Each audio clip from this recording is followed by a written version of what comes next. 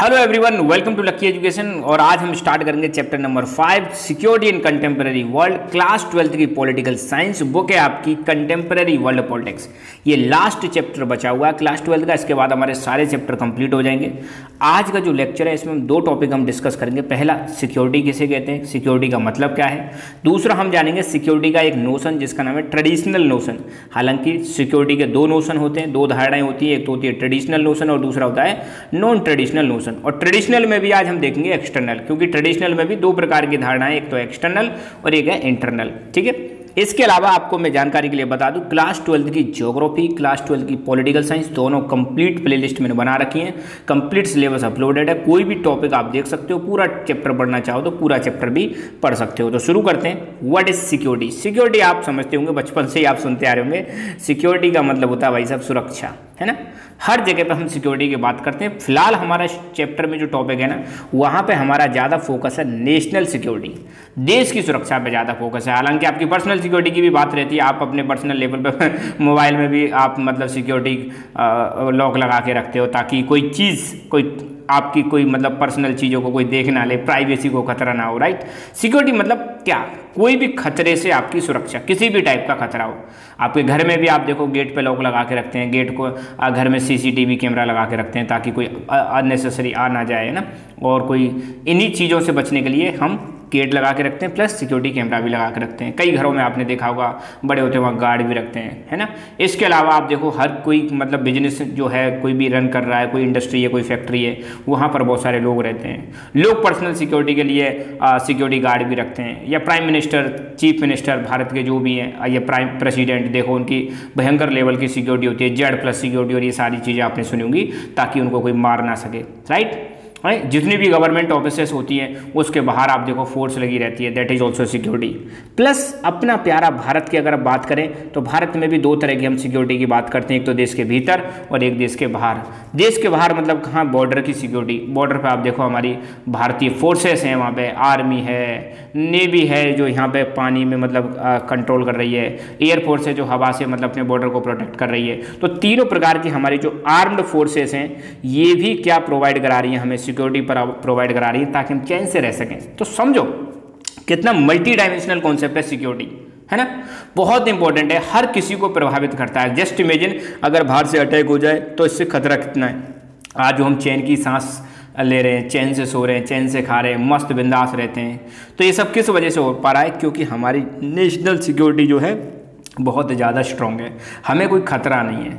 ऐसा नहीं है कि हमें मतलब जब से देश आज़ाद हुआ है, खतरा ही नहीं है। पास्ट में हमने ये खतरे देखे हैं। आपको पता होगा, भारत के अब तक कई बार लड़ाइयाँ हो चुकी हैं दूसरे देशों के साथ। खासकर दो पड़ोसी देश हमारे बहुत ज़्यादा हमें परेशान करते हैं। एक तो है पाकिस्तान, दूसरा है चाइना। ठीक है? चाइना से हमारी लड़ाई हो गई थी 1962 में, आपको पता है, बहुत सारी हमारी ज़मीन भी चली गई थी वहाँ पर पाकिस्तान से कई बार लड़ाई हमारी हो चुकी है। एक तो जब देश हमारा आज़ाद हुआ था पार्टीशन हुआ था, तभी हो गई थी 1947-48 में। फिर आपकी 1965 में हो गई थी। फिर आपकी 1971 में लड़ाई हो गई, फिर आपकी 1999 में लड़ाई हो गई और फिर छोटे मोटे क्लैश तो चलते ही रहते हैं।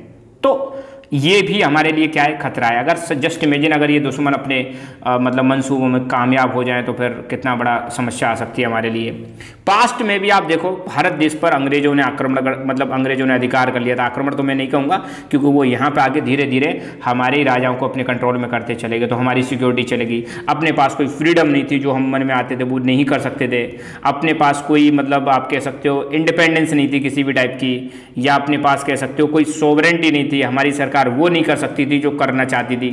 तो ये जो वैल्यूज़ हैं फ्रीडम सोवरेंटी इवन कल्चर ये सारी चीज़ें हमारी कॉम्प्रोमाइज़ हुई थी जब अंग्रेज़ों ने भारत को अपने कंट्रोल में ले लिया था, जब हम गुलाम हो गए थे। तो इन सब चीज़ों को हम बोलेंगे कोर वैल्यूज़ क्या बोलेंगे? कोर वैल्यूज़ हर देश की अपनी कोर वैल्यूज़ होती है। मेनली जैसे इसमें फ्रीडम इंडिपेंडेंस सोवरेंटी है ना? इक्वलिटी कल्चर तो ये कोर वैल्यूज़ क्या होती हैं? हर्ट होती है जब सिक्योरिटी पर क्या पहुँचती है? चोट पहुँचती है, खतरा पहुँचता है। तो समझ गए होंगे आप सिक्योरिटी का क्या मतलब है? सिक्योरिटी मतलब सुरक्षा। किससे सुरक्षा भाई साहब? थ्रेट खतरों से सुरक्षा। हालाँकि आप देखो, आप चलते हैं, तब भी दिक्कत आती है, आप जाते हो तो आपको डर रहता है कि आप पैदल जा रहे हो, बात कर रहे हो, मोबाइल पे कोई मोबाइल छीन के ना ले जाए। है ना? महिलाओं को मतलब खतरा रहता है, कोई उनको परेशान ना करे या उनकी चैन स्नैचिंग ना कर ले, है ना? तो मतलब खतरा तो हर जगह पे है, मगर यहाँ पे हर खतरे की बात नहीं कर रहे हैं, ऐसे तो फिर समस्या आ जाएगी। हम बात कर रहे हैं जो बड़े खतरे हैं, जिनसे बहुत ज़्यादा नुकसान हो सकता है, बहुत ज़्यादा लोगों को नुकसान पहुँच सकता है। जैसे आज की डेट में एक टेररिज्म ले लो, ये खतरनाक वाली है। इसकी हम बात करेंगे टेररिज्म की बात करेंगे, बहुत बड़ा नुकसान होता है। भारत को खुद इसका विक्टिम रहा है, कई बार हम पे टेररिस्ट अटैक हुआ है तो इसको लेकर हम बहुत ज़्यादा सेंसिटिव रहते हैं। सरकार की कई सारी डिपार्टमेंट हैं, ठीक है? तो शुरू करते हैं चैप्टर की शुरुआत इंट्रोडक्शन के साथ ही। तो वर्ड इज़ सिक्योरिटी अगर सिंपली पूछ लिया तो आप क्या बताओगे? Security means freedom from threats खतरे जो है ना, वो कोई सा भी खतरा हो, हर प्रकार के खतरे से आपको क्या मिल जाए? फ्रीडम मिल जाए। उसी को हम क्या बोलते हैं? सिक्योरिटी और and it protects the core values और सिक्योरिटी क्या करती है? हमारी कोर वैल्यूज़ को बचाती है। कोर वैल्यूज़ मतलब आप समझ रहे हो ना? जैसे आप देश के अंदर रहते हो तो आपके, अपने सरकार को मतलब मतलब एक प्रकार से अपने टेरिटोरियल इंटीग्रिटी को बचाना, कि कोई हमारी सीमा में घुस ना जाए। प्लस हमारी इंडिपेंडेंस को फ्रीडम को बचाना। प्लस हमारी सोवरेंटी को बचाना, ये क्या है? कोर वैल्यूज़ हैं। तो सिक्योरिटी मतलब खतरों से आपकी फ्रीडम और सिक्योरिटी क्या करती है? हमारी कोर वैल्यूज़ को प्रोटेक्ट करती है। Security only relates to extremely dangerous threads यहाँ पर हम जिस सिक्योरिटी की बात कर रहे हैं, ये कह रहे हैं कि एक्सट्रीमली डेंजरस ऐसे खतरे जिनसे हमें बहुत, ऐसे मतलब खतरे जिनसे हमें बहुत ज़्यादा नुकसान हो सकता है, उनकी हम बात कर रहे हैं which could endanger our core values जो हमारी कोर वैल्यूज़ को नुकसान पहुँचा सकती है, उन्हीं थ्रेट्स की हम बात कर रहे हैं यहाँ पर। हर प्रकार की थ्रेट की बात नहीं कर रहे हैं राइट अब है नोशंस ऑफ़ सिक्योरिटी अच्छा मैं एक चीज़ और बता देता हूँ, आपको बेसिक्स के लिए अपना अपना याद होना चाहिए। भारत देश में हम दो प्रकार की बात करते हैं सिक्योरिटी की। एक तो देश के भीतर, जिसको हम बोलते हैं इंटरनल सिक्योरिटी इंटरनल सिक्योरिटी आपने देखा होगा, हर राज्य में, भारत में, हर स्टेट में इंटरनल सिक्योरिटी की ज़िम्मेदारी जो होती है वहाँ पर पुलिस मतलब संभालती है। और इंटरनल सिक्योरिटी अगर सेंट्रल गवर्नमेंट में बात करें तो कौन हैंडल करता है? होम मिनिस्ट्री इसको हैंडल करती है होम मिनिस्ट्री कमेंट करके बताओ भाई, भारत में होम मिनिस्टर कौन है? दूसरा एक होती है एक्सटर्नल सिक्योरिटी एक्सटर्नल मतलब बॉर्डर की सिक्योरिटी बॉर्डर पर अपनी अलग फोर्सेस होती हैं. और बॉर्डर की सिक्योरिटी की ज़िम्मेदारी किसकी है? ये होती है हमारी डिफेंस मिनिस्ट्री की. ध्यान देना, देश के भीतर क्या चल रहा है उसकी ज़िम्मेदारी किसकी? होम मिनिस्ट्री और बॉर्डर पर पड़ोसी देशों से दुश्मनों से बचाने के लिए कौन सी सिक्योरिटी आपकी? आपकी एक्सटर्नल सिक्योरिटी और एक्सटर्नल सिक्योरिटी की ज़िम्मेदारी आपकी किसकी? डिफेंस मिनिस्ट्री की राइट तो ये जो आर्म्ड फोर्सेस हैं, ये जनरली किसके अंदर आती हैं? डिफेंस मिनिस्ट्री के अंदर आती हैं। पुलिस और ये पैरामिलिट्री फोर्सेस हैं, ये किसके अंदर आती हैं? होम मिनिस्ट्री के अंदर आती है और ये दोनों मिलकर भारत की सिक्योरिटी की ज़िम्मेदारी संभालते हैं राइट कमेंट करके बताना है होम मिनिस्टर कौन है? डिफेंस मिनिस्टर कौन है? प्लस ये भी कमेंट करके बताना है, भारत के फ़र्स्ट होम मिनिस्टर और फ़र्स्ट डिफेंस मिनिस्टर कौन थे? अब सिक्योरिटी की नोशंस नोशंस का मतलब धारणाएँ कितने टाइप की सिक्योरिटी होती है? दो टाइप की सिक्योरिटी होती है। एक तो होती है एक्सटर्नल सिक्योरिटी एक होती है इंटरनल सिक्योरिटी ये तो मैंने एक जनरल भी बताया। मगर यहाँ पर जिन धारणाओं की बात कर रहे हैं, वो बात कर रहे हैं एक तो ट्रेडिशनल और एक नॉन ट्रेडिशनल ट्रेडिशनल मतलब बहुत लंबे समय से हमारी क्या धारणा रही है? सिक्योरिटी मतलब कोई मिलिट्री अटैक ना हो जाए, है ना? मिलिट्री अटैक जो है ना, इसको हम लेके चलते हैं ट्रेडिशनल सिक्योरिटी में। मगर नॉन ट्रेडिशनल में आज नए नए चैलेंजेस की बात करते हैं। जैसे मान लो कहीं पर पॉवर्टी बहुत ज़्यादा है, गरीबी बहुत ज़्यादा है तो गरीबी अपने आप में खतरा है भाई साहब। गरीब रहोगे तो आप मतलब अपने जीवन को सही से जी नहीं पाओगे। तो यहाँ पर ऐसी चीज़ों की बात करते हैं। मिलिट्री थ्रेट के अलावा, किसके अलावा? मिलिट्री थ्रेट के अलावा जो थ्रेट आते हैं, उनको हम नॉन ट्रेडिशनल में काउंट करके चलेंगे। तो नोशंस ऑफ़ सिक्योरिटी में आपको देखने को मिलेगा।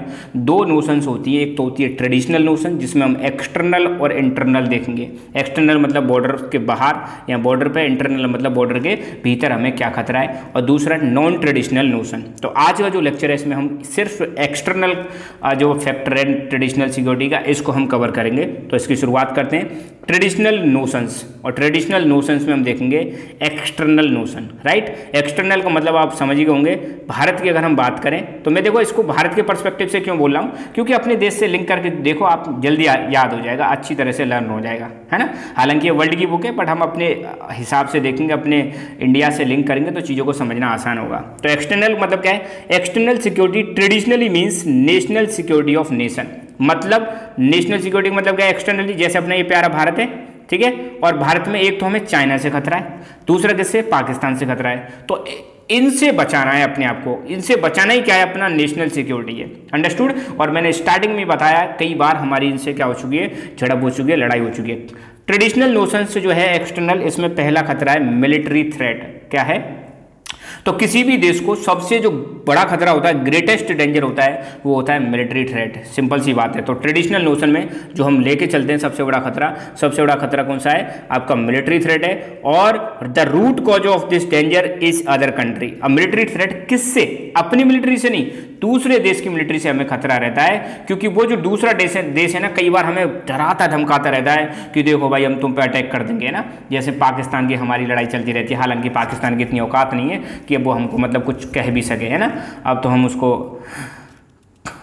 कितनी बार आप बताइए, कितनी बार हम उसको कूट चुके हैं, पीट चुके हैं, ठीक है? कई बार हरा चुके हैं तो पाकिस्तान इतना ज़्यादा खतरा नहीं है। हाँ बट चाइना डेफिनेटली हमारे लिए खतरा है चाइना से हम हार भी चुके हैं बट स्टिल आप देखो चाइना भी अब हमसे डरता है क्योंकि हमने अपने आप को पहले से बहुत ज़्यादा पावरफुल बना लिया है इकोनॉमिकली भी और मिलिट्रीली भी, ठीक है? तो यहाँ पे बात करें कि जो मिलिट्री थ्रेड का जो खतरा है वो किससे आता है? दूसरे देश से आता है। तुरंत लिंक करो। दूसरे देश मतलब अपने इंडिया के परस्पेक्टिव से देखें, पाकिस्तान और चाइना ये मिलिट्री थ्रेड है। और अगर ऐसा थ्रेट है तो हमारी कोर वैल्यू जो है खतरे में आ सकती है। यहाँ पर देश की कोर वैल्यूज़ कौन कौन सी है? जैसे सोवरेंटी सोवरेंटी मतलब अपने देश में, अपने हिसाब से जो हम जीते हैं इंडिपेंड वो है, उसी को हम सोवरेंटी बोलते हैं कि भारत के अंदर क्या कानून होगा, ये भारत के लोग डिसाइड करेंगे, ना कि बाहर के। तो देश के अंदर क्या होना चाहिए, क्या नहीं होना चाहिए? अगर ये पावर देश के लोगों के हाथ में तो इसी को हम बोलते हैं देश सोवरेन है। ठीक है? इंडिपेंडेंस और टेरिटोरियल इंटीग्रिटी अपनी मतलब जितनी भी ज़मीन है, वो ये अपने हाथ में, अगर बाहर से कोई आया, हथियार लेता है तो हमारी इंटीग्रिटी चली जाएगी टेरिटोरियल तो कोर वैल्यूज़ में यहाँ पे देश की कोर वैल्यूज़ कितनी दे रखी है? तीन सोवरेंटी इंडिपेंडेंस और टेरिटोरियल इंटीग्रिटी अगर बाहर से मिलिट्री थ्रेट होता है तो इन तीनों को खतरा पहुँच सकता है। और ऐसा ही नहीं है कि भैया, जब लड़ाई होगी तो सिर्फ़ हमारे जवानों को ही खतरा होगा आर्मी वाले लोगों को ही खतरा होगा। नहीं भाई साहब, इससे ऑर्डिनरी सिटीजन्स को भी बहुत नुकसान पहुँचता है। अभी आपने देखा होगा दे, दुनिया भर में दो जगह पे युद्ध चल रहे हैं। एक तो चल रहा है रशिया यूक्रेन का युद्ध, दूसरा चल रहा है इजराइल और फिलिस्तीन का युद्ध। तो इजराइल और फिलिस्तीन वाला आपने देखा होगा कैसे मतलब शुरू में फिलिस्तीन में जो हमास ग्रुप है, उसने इजराइल पर अटैक किया था, कितने सारे लोग मारे गए। फिर इजराइल ने रिटेलिएट किया, बदला लिया और कितने सारे लोगों को वहाँ पर ख़त्म कर दिया। तो आप देखो यार, यही तो है सबसे बड़ा खतरा। ये कौन सा खतरा है? ये एक्सटर्नल सिक्योरिटी का ही खतरा है। इधर रशिया ने यूक्रेन पर अटैक कर दिया। यूक्रेन की बहुत सारी टेरिटरी को छीन लिया। और अभी भी ये युद्ध चल रहा है। दो साल से ज़्यादा हो गए तो राइट ये अपने आप में किसका एग्जांपल है? एक्सटर्नल सिक्योरिटी का ही सॉरी ट्रेडिशनल नोशन एक्सटर्नल का ही एग्ज़ाम्पल है। इसको आप लिख सकते हो अपनी उसमें राइट दूसरा है वॉर ट्रेडिशनल नोशंस में दूसरा खतरा क्या है? वॉर है। तो कोई भी देश वॉर से वॉर को रेस्पॉन्ड करने के लिए वहाँ की जो सरकार होती है, उसके पास तीन चॉइस होती हैं। कितनी चॉइस होती हैं?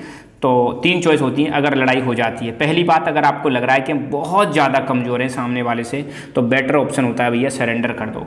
अब सरेंडर करने पर दिक्कत ये कि फिर तुम्हारी मतलब कतई हालत ख़राब कर देता है सामने वाला कंट्री है ना?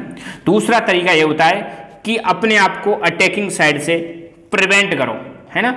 अब चाहे फिर कुछ भी हो जाए, है ना? कुछ भी हो जाएगा मतलब क्या है? जब आप अपने आप को प्रिवेंट करते हो तो नुकसान उधर भी होगा और नुकसान आपकी तरफ़ भी होगा। तो to to prevent other side from attacking by promising to raise the cost of war to an unacceptable level और बता देना सामने वाले को भी, भाई देखो, अब तुम अगर छेड़ ही रहे हो युद्ध तो फिर ये कहाँ तक जाएगा? हम ये कह नहीं सकते।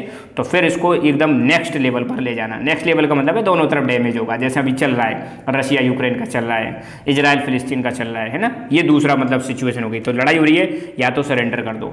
या फिर मतलब जितना नुकसान है, अब कितना नुकसान होगा ना हमें पता, ना तुम्हें पता तो चलो तो फिर अब हो ही जाए चार, दो दो आते हैं ना। तो यहाँ पे अनएक्सेप्टेबल लेवल तक डैमेज करते हैं एक दूसरे कंट्री को, है ना?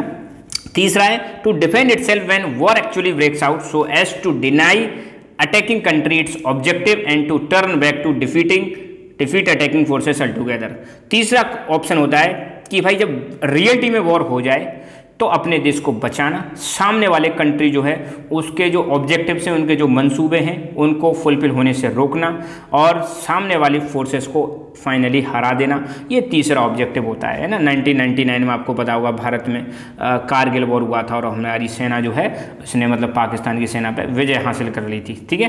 तो दो तीन सिचुएशन है अपने पास, लड़ाई हो जाए, या तो सरेंडर कर दो, या तो जवाब दो सामने वाले को, और तीसरा जवाब ही नहीं, उसके ऑब्जेक्टिव्स को फुलफिल ना होने पाए और सामने वाली सेना को डिफीट कर देना, ये तीन सिचुएशन होती हैं, ठीक है?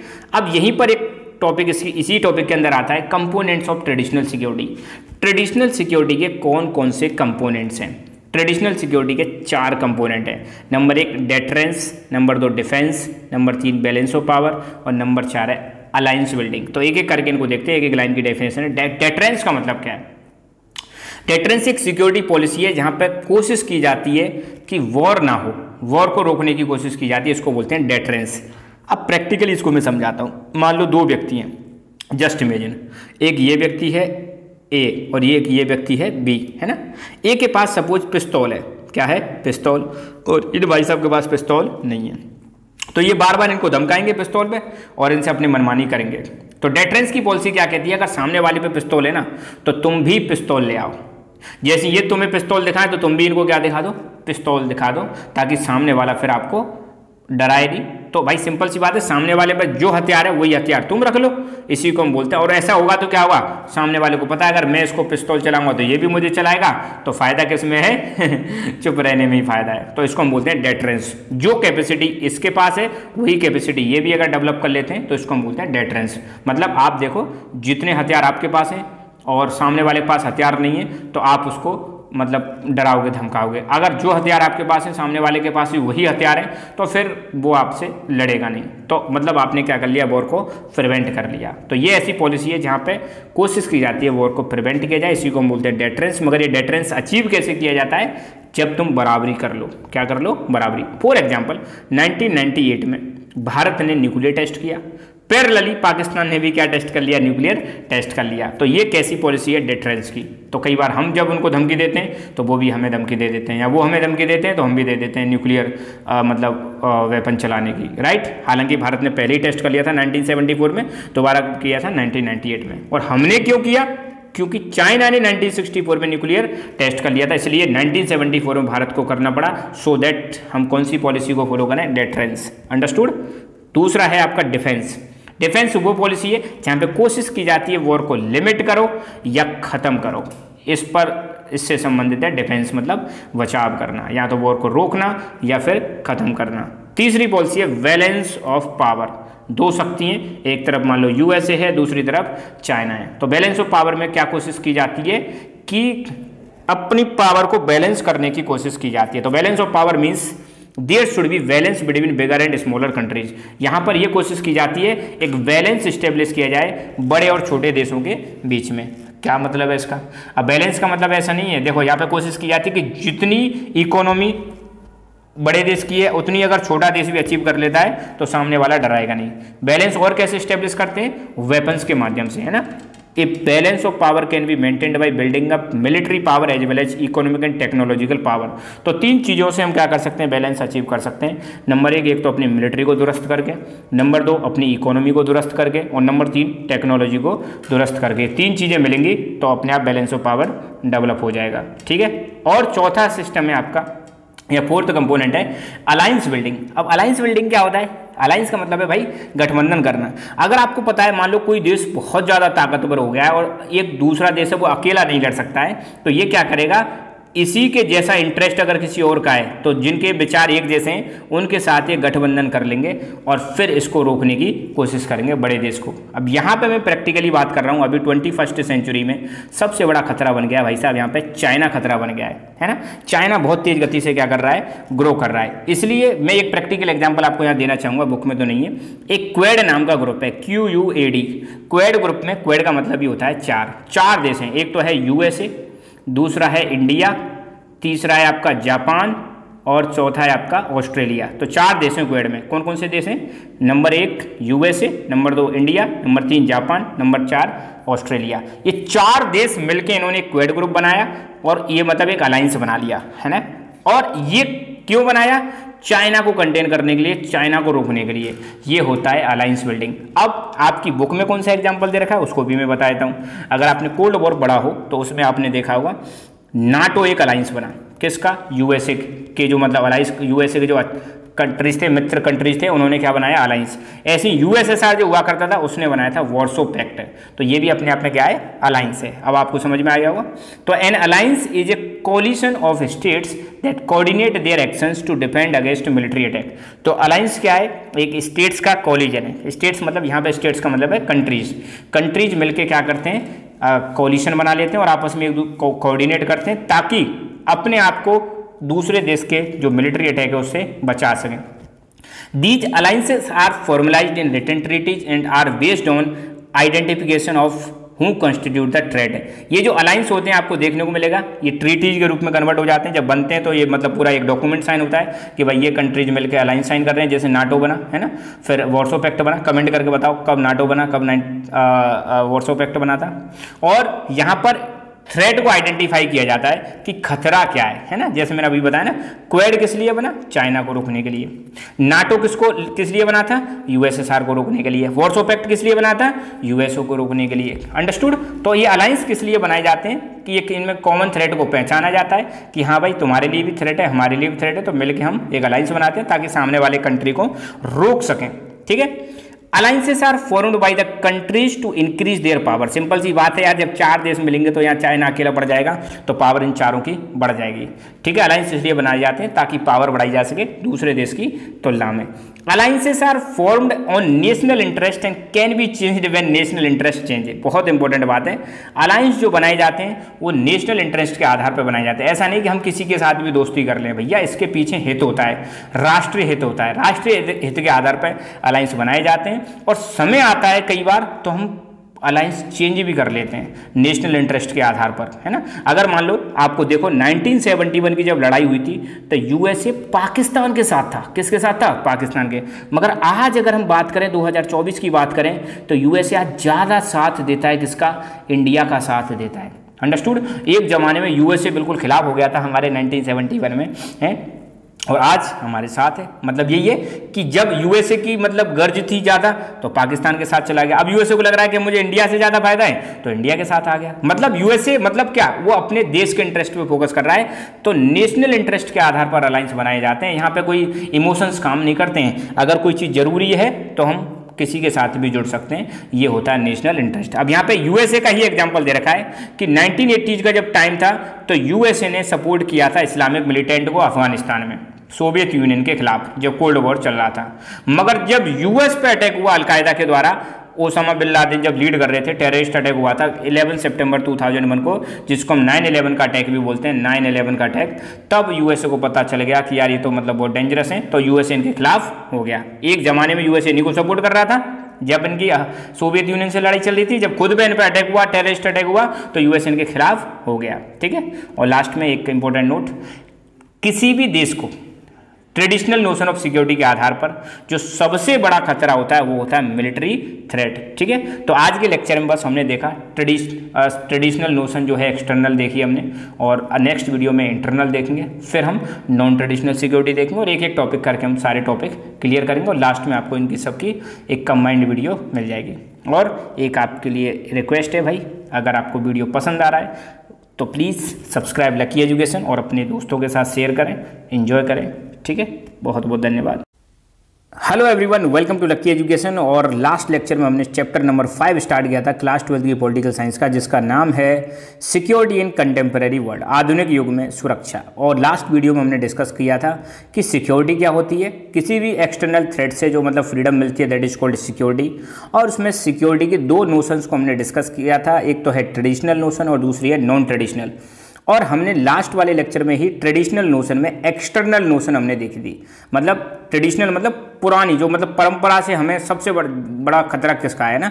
पारंपरिक खतरा। पारंपरिक खतरा हमें मिलिट्री का सबसे ज़्यादा खतरा होता है। किसी भी देश को जो ट्रेडिशनल नोशन के आधार पर जो सबसे बड़ा डेंजर होता है दैट इज़ मिलिट्री थ्रेड। कोई दूसरे देश की मिलिट्री हम पे अटैक ना कर दे वो सबसे बड़ा खतरा होता है। तो लास्ट वाले लेक्चर में हमने एक्सटर्नल थ्रेड को हमने डिस्कस किया था। आज हम ट्रेडिशनल नोशन में हम देखेंगे इंटरनल थ्रेड को कि किसी भी देश को इंटरनली पारंपरिक रूप से क्या समस्याएँ आती हैं तो इसको हम डिस्कस करेंगे। Traditional notions internal. और लास्ट लेक्चर में भी मैंने आपको बताया था कि किसी भी देश की सिक्योरिटी दो तरह की, कोई भी देश दो तरह से ज़्यादा चिंतित रहता है। एक तो अपनी एक्सटर्नल सिक्योरिटी को लेकर और दूसरा अपनी इंटरनल सिक्योरिटी को लेकर। एक्सटर्नल मतलब बॉर्डर की सिक्योरिटी। बॉर्डर पर जो सिक्योरिटी चाहिए, दैट इज़ कॉल्ड एक्सटर्नल। अब बॉर्डर पर किससे सिक्योरिटी चाहिए? सिंपल सी बात है, अपने पड़ोसी देशों से। खासकर जो ज़्यादा आपसे ताकतवर बनते जा रहे हैं। उनसे चाहिए। अब इंटरनल का मतलब क्या? देश के भीतर ही कुछ लोग ऐसे होते हैं जो देश को तोड़ने की बात करते हैं, या आपस में लड़ जाते हैं ना? तो वो है हमारा किसमें इंटरनल में आ जाएगा। घरेलू मामले, है ना? कई बार घरेलू मामले ज़्यादा डेंजरस होते हैं बाहरी मामलों के। आप देखो, मैंने लास्ट लेक्चर में भी बताया था कि हमारी इंडिया की पड़ोसी देशों से तीन चार बार लड़ाई हुई है मेनली है ना? जैसे 1947-48 में अपनी किसके साथ हुई थी? पाकिस्तान के साथ, फिर 1965 में पाकिस्तान के साथ, फिर 1971 में पाकिस्तान के साथ, और फिर 1999 में पाकिस्तान के साथ, इसके अलावा छोटी मोटी चलती रहती हैं। और दूसरी हमारी लड़ाई हुई किसके साथ? चाइना के साथ 1962 में। तो ये गिनी चुनी लड़ाई है अपनी। मगर आप देखो यार, जब से देश हमारा आज़ाद हुआ है, हमारे देश के अंदर ही कुछ लोग ऐसे हैं जो लगातार देश को तोड़ने की बात करते रहते हैं और लगातार कहीं ना कहीं किसी ना किसी स्टेट में कुछ घटनाएँ होती रहती हैं, चाहे वो कैसी भी घटना हो। कहीं पर मतलब जैसे कश्मीर की बात करें तो यहाँ पर सेपरेटिस्ट मूवमेंट चला था। कुछ लोग बात कर रहे कि भैया हम तो कश्मीर को अलग कर देंगे। इधर नॉर्थ ईस्ट में आप चले जाओ, यहाँ पर नागालैंड को अलग करने की बात की जाती है। ग्रेटर नागालैंड बनाने की बात की जाती है। कई बार साउथ में डिमांड होती है कि भैया द्रविड़स्तान बना देंगे साउथ कंट्री बना देंगे अलग से, है ना? इधर वाले रीजन में जैसे कुछ खालिस्तानी एलिमेंट हैं हैं? वो कहते हैं कि पंजाब वाला जो रीजन है, इसमें इंडिया का और पाकिस्तान का, यहाँ पर एक अलग से देश बना देंगे, खालिस्तान बना देंगे। ऑल दो यहाँ के ज़्यादातर लोग इन सब चीज़ों में इन्वॉल्व नहीं है, मगर कुछ सर्टेन एलिमेंट है, कुछ ही लोग हैं जो मतलब ऐसे देश को टूटने की बात करते रहते हैं। इसके अलावा, कई बार अलग अलग ट्राइब जो होते हैं अलग अलग ग्रुप के लोग होते हैं, वो आपस में लड़ जाते हैं। कई बार अलग अलग रिलीजन के लोग होते हैं, वो आपस में लड़ जाते हैं। तो ऐसे करके जो है, ये तो भाई साहब twenty four into seven into three sixty five into जब तक है जान, तब तक ये चलता ही रहता है है ना? तो ये इंटरनल झगड़े ना, ये ज़्यादा डेंजरस होते हैं यार किसी भी देश के लिए। और कई बार ऐसा भी देखा गया है कि बाहर के देश बड़े स्वाद लेते हैं भाई साहब, दूसरों के मामलों में इंटरफेयर करके। जैसे कोई बाहर का चाइना है चाइना एक ऐसा देश है जो चाहता है कि इंडिया में इंस्टेबिलिटी बन इनस्टेबिलिटी बनी रही। पाकिस्तान ये चाहता है इंडिया में इनस्टेबिलिटी बनी रही।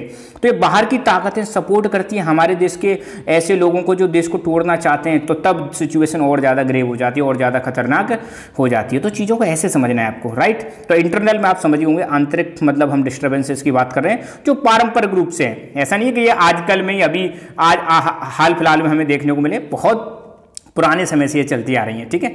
तो शुरू करते हैं चैप्टर की। तो traditional security must concern itself with internal security जब भी हम ट्रेडिशनल सिक्योरिटी में बात करते हैं तो एक्सटर्नल सिक्योरिटी तो चलो है ही भाई, सबसे बड़ा थ्रेट हमारा है।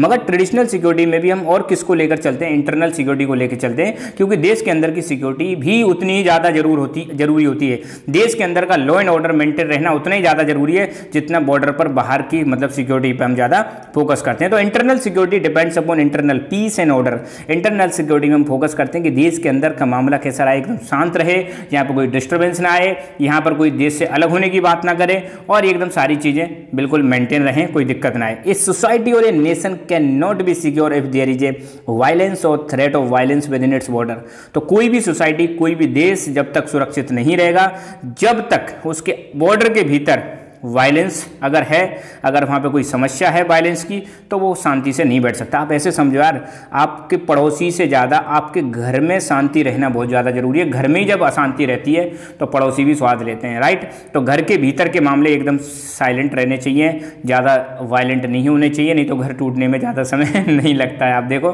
घर में थोड़ी सी अगर प्रॉब्लम हुई, बाहर वालों ने इसमें हवा दी तो घर बड़ी जल्दी टूट जाता है, बिखर जाता है है ना? तो घर की चीज़ें घर में रहनी चाहिए और ज़्यादा फैलनी नहीं चाहिए। जगह जगह पर आपको देखने को मिलता है, कहीं पर मतलब सिविल वॉर हो जाता है, कहीं सिविल वॉर का मतलब है, उस देश के लोग ही आपस में मतलब भिड़ जाते हैं, और कई बार ऐसा होता है, उस देश के लोग ही उस, उसकी सरकार के खिलाफ हो जाते हैं, जैसे आपने टेंथ में पढ़ा होगा, या ट्वेल्थ में भी आपने देखा श्रीलंका के केस में श्रीलंका में जो तमिल्स हैं और सिन्हेला लोग हैं, आपस में भिड़ जाते हैं, है ना?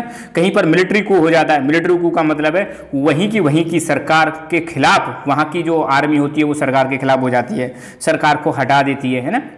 जैसे आपने अफ़गानिस्तान में देखा, अफ़गानिस्तान में इलेक्टेड गवर्नमेंट को हटा दिया, तालिबान ने टेक ओवर कर लिया उधर आप आप देखो, म्यांमार में देखो आप, म्यांमार में भी क्या किया? वहीं की जो मतलब मिलिट्री थी, उसने वहाँ की डेमोक्रेटिकली इलेक्टेड गवर्नमेंट को हटा दिया। तो ये सब देश के अंदर का मामला है, बाहर का नहीं है। कहीं पर मतलब रिलीजियस मतलब कन्फ्लिक्ट हो जाते हैं मतलब दो धर्म के लोग आपस में बढ़ जाते हैं तो भाई ये सारे आंतरिक मामले हैं, इनको हमें रोकना बहुत ज़्यादा ज़रूरी है। तो ट्रेडिशनल नोशंस में आपको देखने को मिलेगा, जो इंटरनल सिक्योरिटी के लिए सबसे बड़े खतरे हैं, वो ये सारे खतरे एक साथ यहाँ पे लिख दिए। पहला है सिविल वॉर। सिविल वॉर मैंने अभी बताया, जब देश के अंदर ही दो ग्रुप आपस में बढ़ जाते हैं, चाहे दो ग्रुप हों या सरकार या वहाँ के लोग आपस में बढ़ जाते हैं that is called civil war civil war बहुत ज़्यादा डेंजरस है। अच्छे अच्छे देशों को इसने बर्बाद कर दिया है। जब ग्रह ग्रह कलेश सिविल वॉर मतलब समझो, ग्रह कलेश है, जब आपस में घर में कलेश हो जाता है तो परिवार बर्बाद हो जाता है। यहाँ पर भी सेम सिचुएशन है। जब देश के अंदर दो ग्रुप या सरकार या कुछ ग्रुप आपस में एक दूसरे से लड़ने लग जाते हैं तो बर्बादी निश्चित है। इंटरनल रेशियल कन्फ्लिक्ट रेस के आधार पर अलग अलग मतलब एथनिसिटी के अलग अलग रेस के अलग अलग टाइप के जो लोग होते हैं ग्रुप होते हैं, वो आपस में बढ़ जाते हैं। अपने आप को सुपीरियर बताते हैं, दूसरे को इन्फीरियर बताते हैं तो ऐसे भी लड़ाई हो जाती है। रिसेंटली मणिपुर में ऐसा आपने देखने को मिला, मणिपुर में दो ट्राइब आपस में भिड़ गई है ना। मिलीटेंट ग्रुप्स मिलीटेंट ग्रुप भी मतलब आप समझो मिलीटेंट का मतलब क्या होता है? जब देश के लोग ही देश की सरकार के खिलाफ हथियार उठा लेते हैं तो उनको हम बोलते हैं मिलिटेंट जैसे आपने कश्मीर में सुना होगा। कश्मीर में कई लोगों ने, वहाँ के युवकों ने मतलब किसी के मतलब पहकावे में आके हथियार उठा लिए और सरकारी जवानों पर ही वो मतलब अटैक करने लग जाते हैं। प्लस नक्सलाइट जो रीजन है भारत के ना छत्तीसगढ़ और आपका आंध्र प्रदेश, इसके अलावा उड़ीसा, है ना? और झारखंड, बिहार, यहाँ, वेस्ट बंगाल, यहाँ पर नक्सलाइट बहुत ज़्यादा एक्टिव हैं। तो यहाँ पर लोकल लोग वही सरकार के खिलाफ हो जाते हैं। तो ऐसे ग्रुप्स को बोलेंगे मिली टेंट ग्रुप्स, है ना? और यहाँ पे मिलिट्री ग्रुप्स की बात की जा रही है। तो मिलिट्री ग्रुप्स में कई बार ऐसा भी होता है कि किसी भी देश में वहाँ की मिलिट्री होती है, वो सरकार के खिलाफ हो जाती है और सरकार को हटा देती है। जैसे मैंने अभी करंट में एग्ज़ाम्पल बताया था, अभी भी सर्च कर लेना आप। म्यांमार में मिलिट्री रूल चल रहा है। म्यांमार में डेमोक्रेटिकली इलेक्टेड गवर्नमेंट को ही हटा दिया था ट्वेंटी में। आपको कोरोना आया था, जब आपको शायद याद होगा। आप देखो अफ्रीकन कंट्रीज़ है अफ्रीकन कंट्रीज़ वहाँ पे आए दिन किसी ना किसी देश में आपको देखने को मिलेगा। वहाँ पे वहाँ की सर, जो मिलिट्री होती है सरकार को हटा देती है। अफ्रीका में साहिल रीजन है वहाँ पे कई सारे कंट्री आते हैं तो वहाँ पे ये आए दिन होता रहता है। सेपरेटिज्म सेपरेटिज्म का मतलब अलग होने की बात करना। अपने ही देश में जैसे मैंने अभी एग्ज़ाम्पल में दिया था कई सारे मतलब एरिया हैं जहाँ पर सेपरेट होने की बात करते हैं। जैसे खालिस्तान ये एक मूवमेंट चल रहा है कि भैया सेपरेट कर दो। कई बार तो यहाँ पर डिमांड हो जाती है साउथ इंडिया में कि भाई हमें भी अलग कर दो। कई बार नॉर्थ ईस्ट में डिमांड हो जाती है कि भाई हमें भी अलग करो तो कश्मीर में अलग डिमांड चलती रहती है, हमें अलग करो। तो यार ऐसे कैसे कर सकते हैं हम? बड़ी मुश्किल से तो हमने अपने देश को एक किया है, बड़ी मुश्किल से हमें अंग्रेज़ों से हमें आज़ादी दिलाई है। अब तो हम फलने फूलने लगे तो यार ऐसी चीज़ें हमें प्रमोट नहीं करनी चाहिए। यही एक एजुकेशन का रियल मीनिंग है। तो यहाँ पर सेपरेटिज्म की डिमांड होती है, ये भी एक थ्रेट है इंटरनल है ना?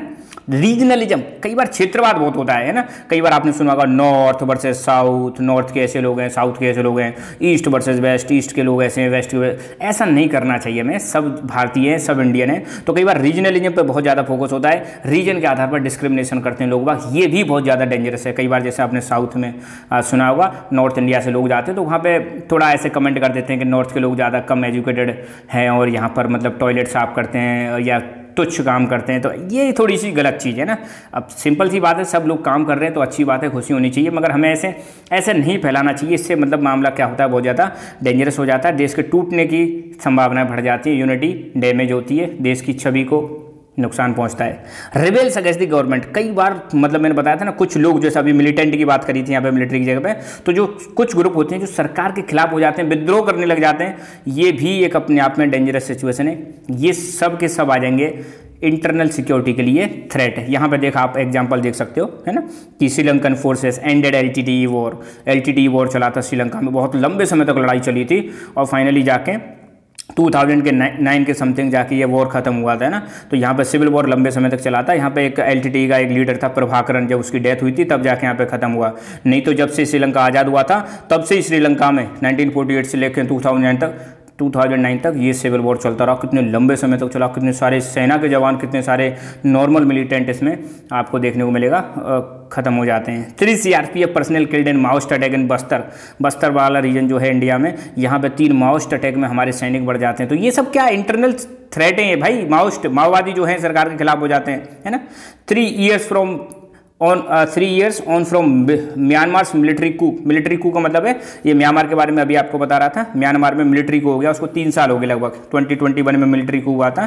तो यहाँ पर भी आप देखो आ, सरकार जो है मिलिट्री चला रही है यहाँ पर राइट ये देखो आप मैरी कॉम अपील्स मैरी कॉम कहाँ की है? मणिपुर की है। मैरी कॉम है सब जानते होंगे। तो ये कह रहे हैं कि भैया मणिपुर जल रहा है मेरे स्टेट को बचाओ काइंडली हेल्प तो मणिपुर में भी आ, कुछ ट्राइब्स आपस में बढ़ जाती हैं। तो ये भी एक इंटरनल सिक्योरिटी का एग्ज़ाम्पल है। है ना? Some European powers continue to worry about violence in their colonies from colonized people who wanted independence. आप देखो, एक ज़माने में जैसे इसको इंडिया से लिंक करते हैं ना। इंडिया में आपको पता है इंग्लैंड का रूल चलता था। India was colony of England तो इंडिया में कई बार आवाज़ें उठती थी इंटरनली कि भैया हमें आज़ादी चाहिए। तो इंग्लैंड इस चीज़ को लेकर बड़ा परेशान रहता था। क्या रहता था? परेशान रहता था। तो ये भी ऐसी चीज़ें हुई और इंडिया फाइनली आज़ादी, वो आपको पता ही होगा। देखो वह जब तो हम अपने हक के लिए लड़ रहे थे, मगर अब देश बन गया तो देश के अंदर अब कोई आवाज़ नहीं उठनी चाहिए भाई साहब। Right right? हाँ अगर आवाज़ उठ रही है तो उसको फिर जेन्यून तरीके से वो आवाज़ उठानी चाहिए हमें ना? आफ्टर कॉलोनीज बिकेम फ्री जब कॉलोनीज फ्री बन गई, जैसे इंडिया फ्री हो गया their security concern were similar to that of European powers इनके सिक्योरिटी कंसर्न बिल्कुल यूरोपियन पावर्स की तरह ही थे।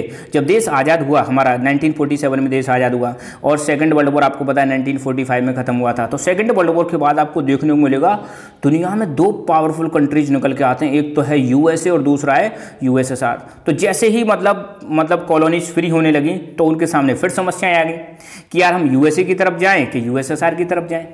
हैं? बड़ी मुश्किल से तो आज़ाद हुए फिर इनके चंगुलों में आ जाएँगे। और इसी को कोल्ड वार बोला गया। कोल्ड वार कब तक चलता रहा? 1991 तक कोल्ड वार चलता रहा। यूएसए के अलग गैंग यूएसएसआर अलग गैंग, है ना? और अंदर अलग समस्याएँ चल रही थी, है ना? जैसे आपने इंडिया वाले चैप्टर में पढ़ा होगा फ़र्स्ट वाले चैप्टर में challenges before the nation building मतलब या चैलेंजेज ऑफ़ नेशन बिल्डिंग हमारे देश में मतलब जब देश आज़ाद हुआ था तो कितने सारे चैलेंजेस थे? तो चैलेंज थे। आज़ादी के बाद भी, या मतलब सेकंड वर्ल्ड वॉर खत्म होने के बाद, कई सारे देश जो आज़ाद हुए थे, उनको इंटरनल चैलेंजेज भी फेस करने पड़ रहे थे एक्सटर्नल चैलेंजेज भी फेस करने पड़ रहे रहे थे these countries also face threat from within like separatist movement which wanted to form independent countries example Khalistan movement in India in 1980s. तो ये जो देश आज़ाद हुए थे, इनको अंदर से भी चैलेंज फेस करने पड़ रहे थे। जैसे भारत का एग्ज़ाम्पल दे रखा है। भारत में एक सेपरेटिस्ट मूवमेंट चला था खालिस्तान वाला, जो कह रहे थे कि भैया हमें अलग कर दो, है ना? पाकिस्तान के जो पंजाब वाला रीजन है इंडिया का पंजाब वाला रीजन है, यहाँ पर इनको अलग से कंट्री बनाना है। हालाँकि कोई सपोर्ट नहीं करता, इनको कुछ ही एलिमेंट है, मगर ये भी अशांति फैलाने की कोशिश करते हैं। फाइनली यहाँ पे एक कंक्लूजन दे रखा है कि भैया जो इंटरनल वॉर्स हैं दुनिया भर में जितने भी आर्म कन्फ्लिक्ट हो रहे हैं दुनिया भर में जितनी भी आर आ, मतलब हथियारों को लेकर लड़ाई चल रही है हथियारों से लड़ाई जो हो रही है उसमें 95 परसेंट तो भाई इंटरनल वॉर है एक्सटर्नल तो है ही नहीं इतने नहीं है एक्सटर्नल मैंने अभी बताया था शुरुआत में कि दो दो दो देशों के बीच में लड़ाई तो बहुत कम होती है मगर इंटरनली तो हमेशा चलता रहता है कुछ ना कुछ कुछ ना कुछ। इसलिए कोशिश करनी चाहिए लोगों को अवेयर होना चाहिए कभी भी देश के खिलाफ नहीं जाना चाहिए। थोड़ी इतनी तो देशभक्ति होनी चाहिए अगर आप जिस देश में रह रहे हो उसके प्रति अपना मतलब थोड़ी श्रद्धा होनी चाहिए, ठीक है? ज़्यादा बटने में कोई फ़ायदा नहीं है। पाकिस्तान आपको पता है 1947 में बट गया था। उसके बाद वो नहीं मतलब होल्ड करके रख पाया। अगेन 1971 में पाकिस्तान टूट जाता है। फिर अभी भी पाकिस्तान में टूटने की बात चल रही है। बलूचिस्तान अलग होने की डिमांड कर रहा है। इसलिए बेटर यह है कि अपने जो भी है, जैसा भी है, उसको एक्सेप्ट करो, आगे बढ़ो। बजाय हमें अलग होने के अपनी चीज़ों को एक्सेप्ट करना चाहिए और अपने आप पे फोकस करना चाहिए। फिर कह रहे हैं 1946 से 1991 के बीच में सिविल वॉर्स की संख्या देखें तो 12 गुना 12 फोल्ड राइज देखने को मिलेगा सिविल वॉर्स में।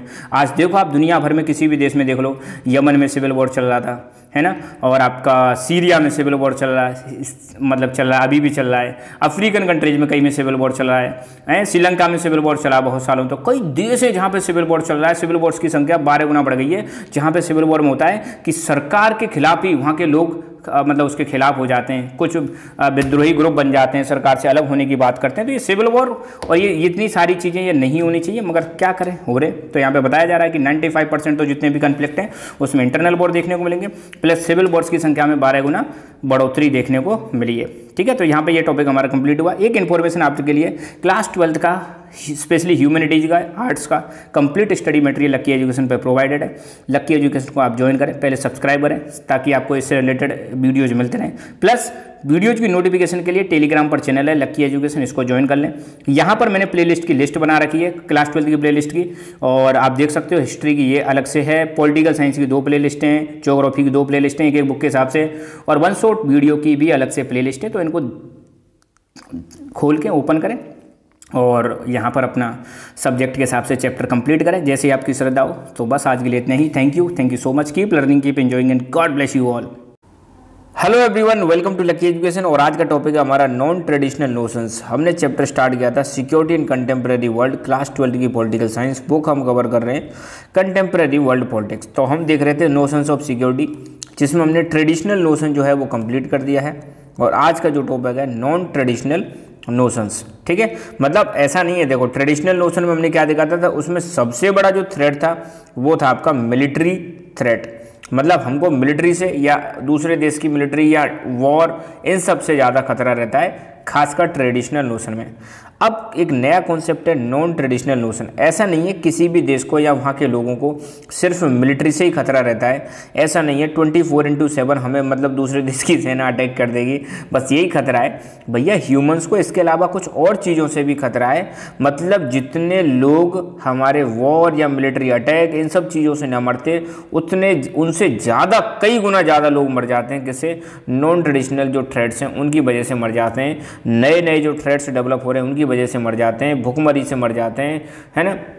बाढ़ बाढ़ आती है तो इनकी वजह से मर जाते हैं। तो यहाँ पर उन्हीं चीज़ों को डिस्कस किया जा रहा है। तो क्या आता है नॉन ट्रेडिशनल नोशन में? पहली बात तो ये है। तो नॉन ट्रेडिशनल जो नोशन है सिक्योरिटी का, ये मिलिट्री थ्रेड से पर एक ही बात है, अलग बात है। और यहाँ पर कई सारी चीज़ों को इंक्लूड करते हैं, उन चीज़ों को इंक्लूड करते हैं जिससे ह्यूमन एग्जिस्टेंस को खतरा आ जाए। या ह्यूमन का जो एग्जिस्टेंस है वो खतरे में पड़ जाए। मतलब इन शॉर्ट आप कह सकते हो, यहाँ पर मिलिट्री मिलिट्री थ्रेड के अलावा बाकी जो चीज़ें जो ह्यूमन के एग्जिस्टेंस को खतरे में डाल दें, उन सब चीज़ों को डिस्कस करते हैं। खासकर यहाँ पर नॉन ट्रेडिशनल में दो चीज़ों पर ज़्यादा फोकस रहता है। नंबर एक ह्यूमन सिक्योरिटी और दूसरा ग्लोबल सिक्योरिटी एक तो हम इंसान की सिक्योरिटी की बात करते हैं और दूसरा ग्लोबल लेवल पर हम सिक्योरिटी की बात करते हैं। सबसे पहले हम देखेंगे ह्यूमन सिक्योरिटी में हम क्या पढ़ते हैं। ह्यूमन सिक्योरिटी में क्या है नॉन ट्रेडिशनल थ्रेड के अलावा? ह्यूमन सिक्योरिटी का सिंपल सा मतलब है भाई कि ह्यूमंस को प्रोटेक्ट करना रादर देन प्रोटेक्टिंग स्टेट है। देखो स्टेट को प्रोटेक्ट करना वो तो डेफिनेटली ट्रेडिशनल नोशन है। स्टेट मतलब जैसे अपना प्यारा भारत है। भारत की बाउंड्रीज को इंटरनली और एक्सटर्नली सिक्योर करना, ये हम भारत की बाउंड्री को सिक्योर कर रहे हैं। भारत मतलब हम स्टेट की प्रोटेक्शन कर रहे हैं। यहाँ पर कह रहे हैं स्टेट को छोड़ो भाई पहले। यहाँ पे स्टेट से पहले हमें लोगों को प्रोटेक्ट करने की ज़रूरत है। स्टेट तो अपना, चलो ठीक है, वो ट्रेडिशनल नोशन हो गया, जहाँ पर हम इंटरनल एक्सटर्नल दोनों लेवल पर प्रोटेक्ट कर रहे हैं। तो यहाँ पर ज़्यादा फोकस किस पे रहता है? नॉन ट्रेडिशनल सिक्योरिटी में लोगों पर ज़्यादा फोकस रहता है।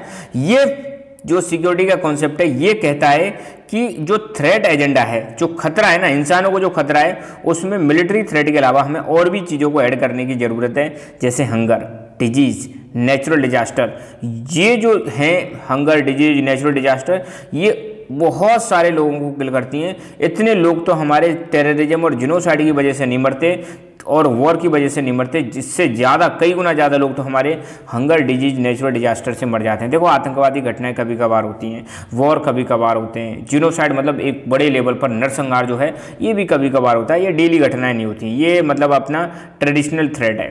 मगर ये तो यार नॉर्मल है। डे टू डे आप देखो कितने सारे लोग बेचारे भूखे सोते हैं, कितने सारे लोग बीमारियों की वजह से मर रहे हैं, कितने सारे लोग कहीं पर डिजास्टर आ जाती है, कहीं पर फ्लड आ रही है, कहीं पर अर्थक्वेक आ रहा है, कहीं पर वॉल्केनिक करप्शन हो रहा है, कहीं पर ड्रॉट है। इन चीज़ों की वजह से लोग ज़्यादा मर रहे हैं, बजाय ये जो ट्रेडिशनल थ्रेड है। तो ह्यूमन सिक्योरिटी का एजेंडा ये कह रहा है कि भाई साहब, इसमें हमें इकोनॉमिक सिक्योरिटी को भी ऐड कर लेना चाहिए। साथ के साथ में ह्यूमन डिग्निटी को जो खतरा है, उसको भी हमें ह्यूमन सिक्योरिटी में ऐड कर लेना चाहिए। इकोनॉमिक सिक्योरिटी का मतलब क्या है? प्रत्येक व्यक्ति को यार कुछ पैसे मिलने चाहिए ना यार। आप पैसे होंगे तभी तो आप भूख मिटा सकते हो, पैसे होंगे तभी तो आप बीमारी से मतलब निपट सकते हो। आपके पास पैसे होंगे तभी तो आप डिजास्टर से बचने के लिए अपना इलाज कर सकते हो, कुछ इंतज़ाम कर सकते हो। तो ये कह रहे भाई साहब, हमें ह्यूमन जो सिक्योरिटी है, उसमें इकोनॉमिक सिक्योरिटी पर फोकस करने की ज़रूरत है। मतलब इंसान को कुछ ना कुछ सोर्स ऑफ़ इनकम प्रोवाइड कराने की ज़रूरत है। मतलब जॉब देना बहुत ज़्यादा ज़रूरी है। प्लस ह्यूमन डिग्निटी को कोई खतरा ना पहुँचाए। जो इंसान की एक मतलब गरिमा है, उसको भी कोई खतरा नहीं पहुँचना चाहिए। उसको डेफिनेटली हमें इक्वलिटी पे फोकस करना चाहिए। उसकी फ्रीडम पे फोकस करना चाहिए। इन चीज़ों पर भी ध्यान देने की ज़रूरत है। दूसरा है ग्लोबल सिक्योरिटी अब ग्लोबल सिक्योरिटी का जो आइडिया है, ये 1990s में आया। 1990s का मतलब ऐसे लगा रहता है, इसका मतलब है 1990 के बाद आया था। और क्यों आया था 1990s में? क्योंकि इस समय बहुत सारी ग्लोबल थ्रेट निकल के आई थी। कौन कौन सी ग्लोबल थ्रेट निकल गई जैसे नंबर एक ग्लोबल वार्मिंग ग्लोबल वार्मिंग आपको बताइए जब अर्थ का टेम्परेचर नॉर्मल टेम्परेचर से बढ़ने लग जाए तो उसको हम बोलते हैं ग्लोबल वार्मिंग अब ग्लोबल वार्मिंग होगी तो उसके पचासों नुकसान होंगे, वो हम अभी इसमें डिटेल में नहीं जा रहे हैं। दूसरा इंटरनेशनल टेररिज्म आतंकवाद। तीसरा हेल्थ एपिडेमिक्स कई सारी महामारियाँ फैल गई थी, जैसे एड्स, वर्ड फ्लू। एड्स की फुल फॉर्म आपको पता ही होगा acquired immuno deficiency syndrome AIDS एक बीमारी है। एड्स बीमारी जिस वजह से होती है, वो एक वायरस है। उस वायरस का नाम है human immuno deficiency virus bird flu, ये भी एक समस्या है, ठीक है? तो यहाँ पे 1990 में ऐसा कॉन्सेप्ट आया कि भाई देखो, अब हमें ग्लोबल सिक्योरिटी पे भी ध्यान देने की ज़रूरत है। आप मतलब ग्लोबल लेवल पर जब आप सिक्योर करोगे तो ह्यूमन तो डेफिनेटली अपने आप ही सिक्योर हो जाएँगे। जैसे recently COVID nineteen nineteen COVID nineteen में भी ये ग्लोबल सिक्योरिटी पर ज़्यादा फोकस कर, किया गया था कि भाई अपने देश में तो आप प्रोटेक्ट कर रहे हो, साथ के साथ में गरीब देशों पर भी आप फोकस करो, क्योंकि अगर कोरोना को वहाँ से नहीं रोका तो ये फिर फैलने लग जाएगा। तो यहाँ पर मतलब एक ग्लोबल सिक्योरिटी की बात हुई थी right no country can resolve these problem alone अब यार ये ऐसी समस्या हैं, इनको अकेले कोई नहीं रोक सकता। ग्लोबल वार्मिंग यार इंडिया चाहे तो अकेला नहीं रोक सकता। इंडिया चलो ठीक है पॉल्यूशन कम करेगा सी का लेवल कम कर देगा, है ना? ग्रीन हाउस गैसेस को कम कर देगा, क्योंकि ग्लोबल वार्मिंग के लिए क्या रेस्पॉन्सिबल है? ग्रीन हाउस गैसेस रेस्पॉन्सिबल है। चलो इंडिया अपनी तरफ़ से कर रहा है, मगर चाइना इनको फैला रहा है। तो भाई हम कहाँ कर सकते हैं? तो ऐसी प्रॉब्लम्स को डील करना है तो भैया हमें इंटरनेशनल कोऑपरेशन चाहिए। सभी देशों का साथ चाहिए तो ही सॉल्व कर सकते हैं। अदरवाइज़ हम ना तो इन बीमारियों को रोक सकते हैं, ना ही ग्लोबल वार्मिंग को रोक सकते हैं, ना ही क्लाइमेट चेंज को रोक सकते हैं, ना ही टेररिज्म को रोक सकते हैं। इंटरनेशनल लेवल पर हमें कोऑपरेशन चाहिए ही चाहिए। हर देश का हमें इसमें साथ चाहिए तो ही हम इन चीज़ों को अलग कर सकते हैं, ठीक है? तो इसलिए सभी कंट्रीज़ को अगर इन समस्याओं से डील करना है तो एक साथ आना पड़ेगा, एक साथ लड़ना पड़ेगा then only we can resolve these problems right example दे रखा है कि अगर ग्लोबल वार्मिंग बढ़ती है तो इसकी वजह से क्या होगा? पृथ्वी का टेम्परेचर बढ़ेगा ग्लेशियर्स मेल्ट होंगे ग्लेशियर्स मेल्ट होंगे तो पानी बह बह के ओशंस में आएगा ओशन का लेवल बढ़ जाएगा। तो ये करें ग्लोबल वार्मिंग की वजह से डेढ़ मीटर से दो मीटर अगर लेवल बढ़ा, पानी का ओशन का लेवल बढ़ा तो इसकी वजह से 20 परसेंट जो बांग्लादेश है, वो उसमें बाढ़ आ जाएगी। पूरा की पूरा मालदीव डूब जाएगा। आधे से ज़्यादा थाईलैंड की पॉपुलेशन डूब जाएगी just because of global warming तो सोचो ग्लोबल वार्मिंग कितनी ज़्यादा डेंजरस प्रॉब्लम है कि मोलडीव तो पूरा खत्म, थाईलैंड आधे से ज़्यादा खत्म हो जाएगा, डूब जाएगा, और 20 परसेंट से ज़्यादा आबादी मतलब सोचो, बांग्लादेश की डूब जाएगी just because of global warming अब यार ये अकेला देश मालदीव कहे कि मैं लड़ूँगा भैया तो इससे काम नहीं चलेगा ना। मालदीव तो बेचारा इतना पॉल्यूशन भी नहीं करते तो आइलैंड कंट्री है। तो यहाँ पर पूरी दुनिया को एक साथ आना पड़ेगा ग्लोबल कोऑपरेशन की ज़रूरत है देन ओनली हम मतलब इन चीज़ों को मिनिमाइज कर सकते हैं राइट तो बस आज के लेक्चर में इतना ही और एक इंपॉर्टेंट इन्फॉर्मेशन क्लास ट्वेल्थ की हिस्ट्री पॉलिटी और ज्योग्राफी तीनों की यहाँ पर प्लेलिस्ट है। कंप्लीट वीडियो मैंने यहाँ पर डाल रखे और वन शॉट वीडियोज़ की भी ये अलग से प्लेलिस्ट डाल रखी है। साथ के साथ में हमारे जितने भी वीडियोज़ आते हैं, उनकी नोटिफिकेशन आपको यहाँ पर हमारे टेलीग्राम चैनल लकी एजुकेशन पर मिल जाएगी। और प्लीज़ सब्सक्राइब लकी एजुकेशन और इन्जॉय करें, अपने दोस्तों के साथ भी शेयर करें। Thank you thank you so much hello everyone welcome to Lucky Education और आज का टॉपिक है हमारा ट्रेडिशनल सिक्योरिटी एंड कॉपरेशन ये जो टॉपिक है आपका क्लास ट्वेल्थ की पॉलिटिकल साइंस बुक आपकी है? Contemporary world politics chapter number five हमारा चल रहा है सिक्योरिटी इन कंटेम्प्रेरी वर्ल्ड इस चैप्टर में अब तक हमने traditional notion and non traditional notion of securities को कवर कर लिया है। तो आज हम देखेंगे ओनली ट्रेडिशनल सिक्योरिटी में कैसे हम कॉपरेट कर सकते हैं। ऐसा नहीं है कि मतलब हमेशा युद्ध ही हमारे पास एक ऑप्शन होता है वॉर ही हमारे पास एक ऑप्शन होता है। वॉर को हम प्रिवेंट भी कर सकते हैं, हम कॉपरेट भी कर सकते हैं, दो सेनाएँ आपस में कॉपरेट कर सकती हैं, ठीक है? तो यूनिवर्सली ऐसा माना जाता है कि किसी भी कंट्री को वॉर पर कब जाना चाहिए? आप सोचो, अगर कोई कंट्री लड़ाई करने जा रहा है, देखो, लड़ाई तो यार लास्ट ऑप्शन होता है। शुरू शुरू में तो हर कंट्री को कोशिश करनी चाहिए यार वॉर ना हो, क्योंकि जब भी वॉर होगा तो आपको पता है बहुत ज़्यादा इससे नुकसान होगा, और नुकसान एक देश को ही नहीं होगा, नुकसान दोनों देशों को ही होगा। तो वॉर तो मतलब ऐसा ट्रेडिशनली एक्सेप्टेड कॉन्सेप्ट है यूनिवर्सली एक्सेप्टेड कॉन्सेप्ट है कि वॉर पे तो हम तभी जाना चाहिए जब हम मामला सेल्फ डिफेंस का आ गया हो कि भाई अब तो बात बनेगी नहीं, अब तो अपने आप को प्रोटेक्ट करना ज़रूरी है और साथ के साथ में अपने लोगों को प्रोटेक्ट करना ज़रूरी है स्पेशली फ्रॉम जिनोसाइड लग रहा है आपको कि जब दूसरे देश की आर्मी आपके देश के लोगों को बहुत बड़े लेवल पर मार सकती है, बड़े लेवल पर मास किलिंग कर सकती है तो ऐसी सिचुएशन में ज़रूरी हो जाता है कि भाई अब तो वॉर होना ही होना है, ठीक है? तो ट्रेडिशनली या यूनिवर्सली एक्सेप्टेड कॉन्सेप्ट क्या है? कंट्री कब वॉर की कंडीशन चूज़ करेगा, कब वॉर करेगा? तो पहला तो एक तो सेल्फ डिफेंस वाली सिचुएशन हो। दूसरा, अपने लोगों को बचाना हो किससे? जिनोसाइड से। जिनोसाइड का मतलब क्या है? बहुत बड़े लेवल पर जो हत्या की जाती है लोगों की, उसको हम क्या बोलते हैं? जिनोसाइड बोलते हैं। आर्मीज को हमेशा कोशिश करनी चाहिए, जब भी हम लड़ाई करें या कोई भी देश की आर्मी लड़ाई करें, उसको कोशिश करनी चाहिए जो अनार्म लोग हैं। अनार्म मतलब जिनके पास हथियार नहीं है। उनकी किलिंग नहीं करनी चाहिए। या सरेंडरिंग कॉम्बिटेंट्स सरेंडरिंग कॉम्बिटेंट्स का मतलब क्या है? कि सपोज़ एक देश की आर्मी दूसरे देश की आर्मी पर मतलब दो देशों की आर्मी आपस में लड़ रही है। एक देश की आर्मी ने सरेंडर कर दिया। जब सरेंडर कर दिया तो फिर उसको मारना नहीं चाहिए। मतलब ये ऐसा मतलब ऐसा कहा जाता है कि भाई आर्मी को कम से कम इन दो चीज़ों पर तो ध्यान देना चाहिए। जब भी लड़ाई हो, अगर लग रहा है कि सामने किसी के पास हथियार नहीं है तो उनको नहीं मारना चाहिए। दूसरा, अगर सामने वाली आर्मी के जो मतलब कॉम्पिटेंट है कॉम्पिटेंट का मतलब होता है जो लड़ने वाले जो लोग हैं, सैनिक हैं, अगर उन्होंने सरेंडर कर दिया है, उस केस में भी उनको मारना नहीं चाहिए। फोर्स का इस्तेमाल तो सिर्फ़ तभी यूज़ करना चाहिए जब सारे के सारे अल्टरनेटिव फेल हो फेल हो गए हों, है ना? देखो, दो देश आपस में मतलब फोर्स का इस्तेमाल कब करें? जब पहले तो शुरू शुरू में कोशिश करनी चाहिए, अगर कोई मैटर है तो उसको बातचीत करके सुलझा ली जाए। सबसे बेस्ट तरीका होता है नेगोशिएशन करना, कि बातचीत करो यार एटलीस्ट डायलॉग करो। आपस में मतलब दो दो दो दो देशों के अलग अलग लेवल पर क्या होनी चाहिए? बातचीत होनी चाहिए। जब सारे ऑप्शन फेल हो जाएँ तो ही फोर्स का इस्तेमाल करना चाहिए तो ही मतलब हमें वॉर का ऑप्शन ऑप्ट करना चाहिए। Traditional view of security should include all other forms of cooperation traditional जो व्यू है हमारा सिक्योरिटी का, इसमें और भी कॉपरेशन के फॉर्म्स हैं। ये जो ऊपर हमने डिस्कस किए तो चलो हैं ही।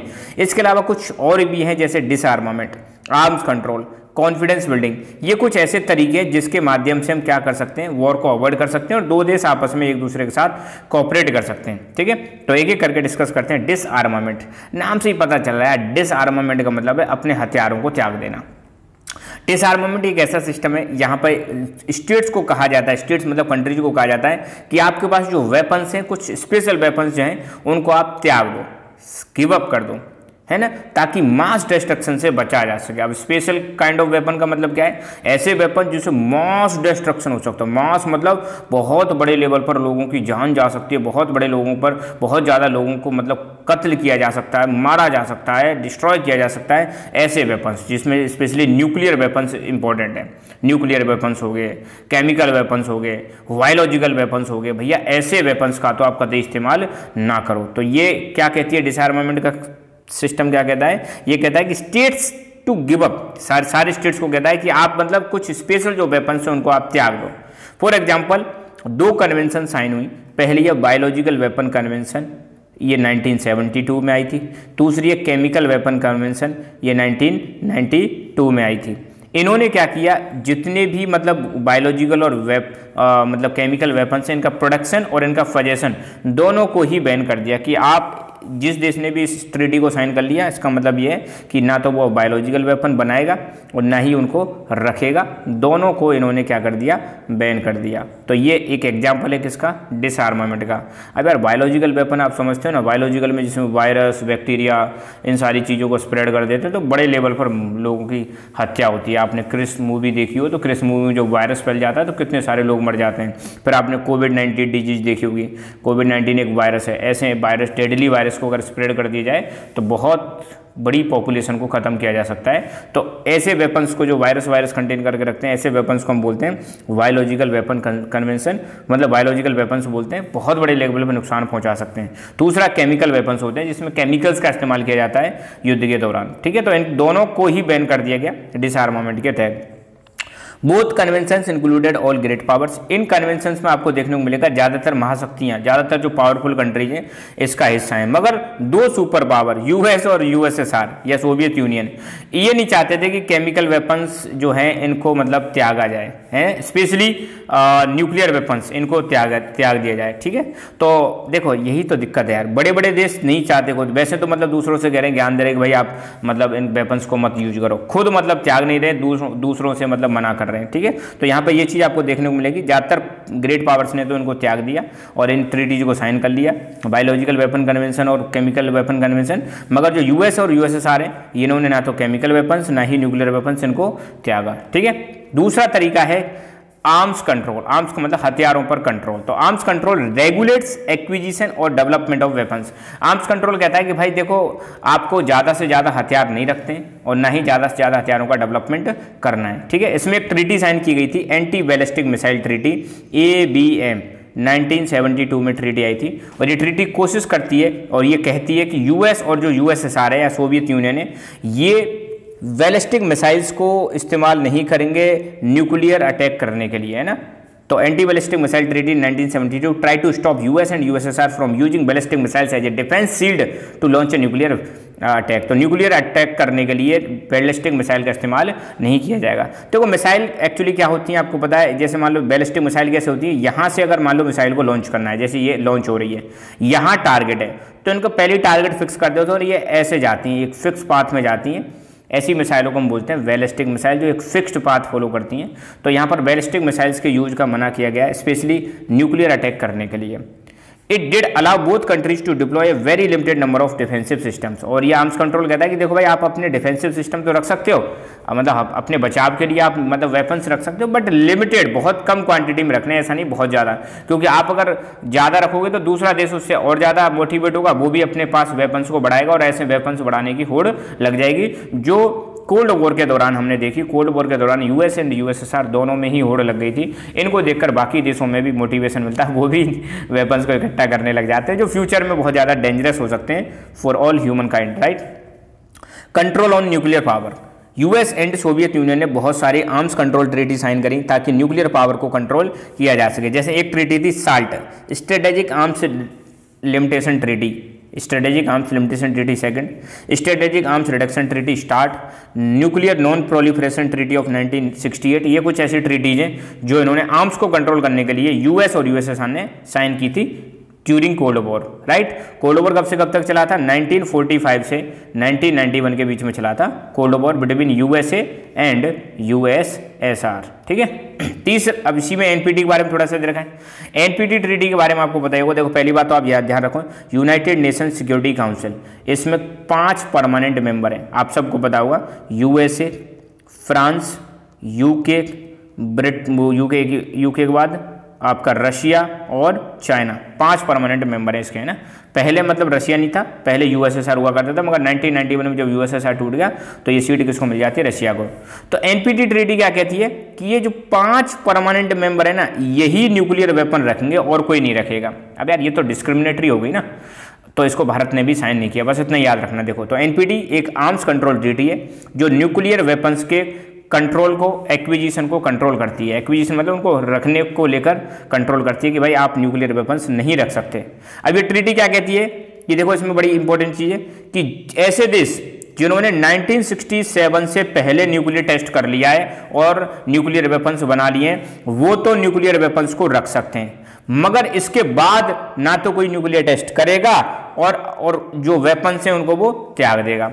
तो भाई एन एनपीटी जो है, ये मतलब न्यूक्लियर वेपन्स को अबॉलिश करने की बात नहीं करती है, बजाय इसके ये लिमिट करने की बात करती है कि भाई कौन कौन से देश न्यूक्लियर वेपन्स रख सकते हैं। तो इसने क्या लगा दिया कि 1967 से पहले जिन देशों ने न्यूक्लियर वेपन्स टेस्ट किए तो यार 1967 से पहले ये पी फाइव नेशन सीधे जिन्होंने न्यूक्लियर वेपन्स को टेस्ट किया था, है ना? और ये चाहते थे कि भाई हमने तो अब डेवलप कर लिया, अब कोई और डेवलप नहीं करेगा, हम ही रख सकते हैं, बाकी नहीं रखेगा। तो यार ये तो डिस्क्रिमिनेटरी हो गई ना।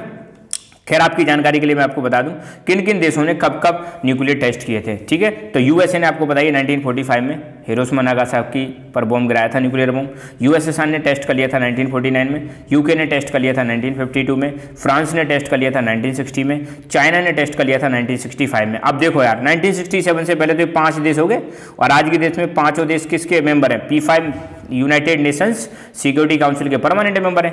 तो एनपीटी ट्रीटी क्या कह रही है कि 1967 से पहले जिन देशों ने न्यूक्लियर वेपन्स को टेस्ट किया, वही देश न्यूक्लियर वेपन रखेंगे और कोई नहीं रखेगा। तो इंडिया ने बोल दिया, भैया, हम साइन नहीं कर रहे तुम चतुर हो यार। तुम भी त्यागो अगर त्यागना है तो है ना? पर आपको पता है, बाद में फिर इंडिया ने न्यूक्लियर टेस्ट किया था 1974 और 1998 में दो बार न्यूक्लियर टेस्ट किया था इंडिया ने। पाकिस्तान ने भी 1998 में कर लिया।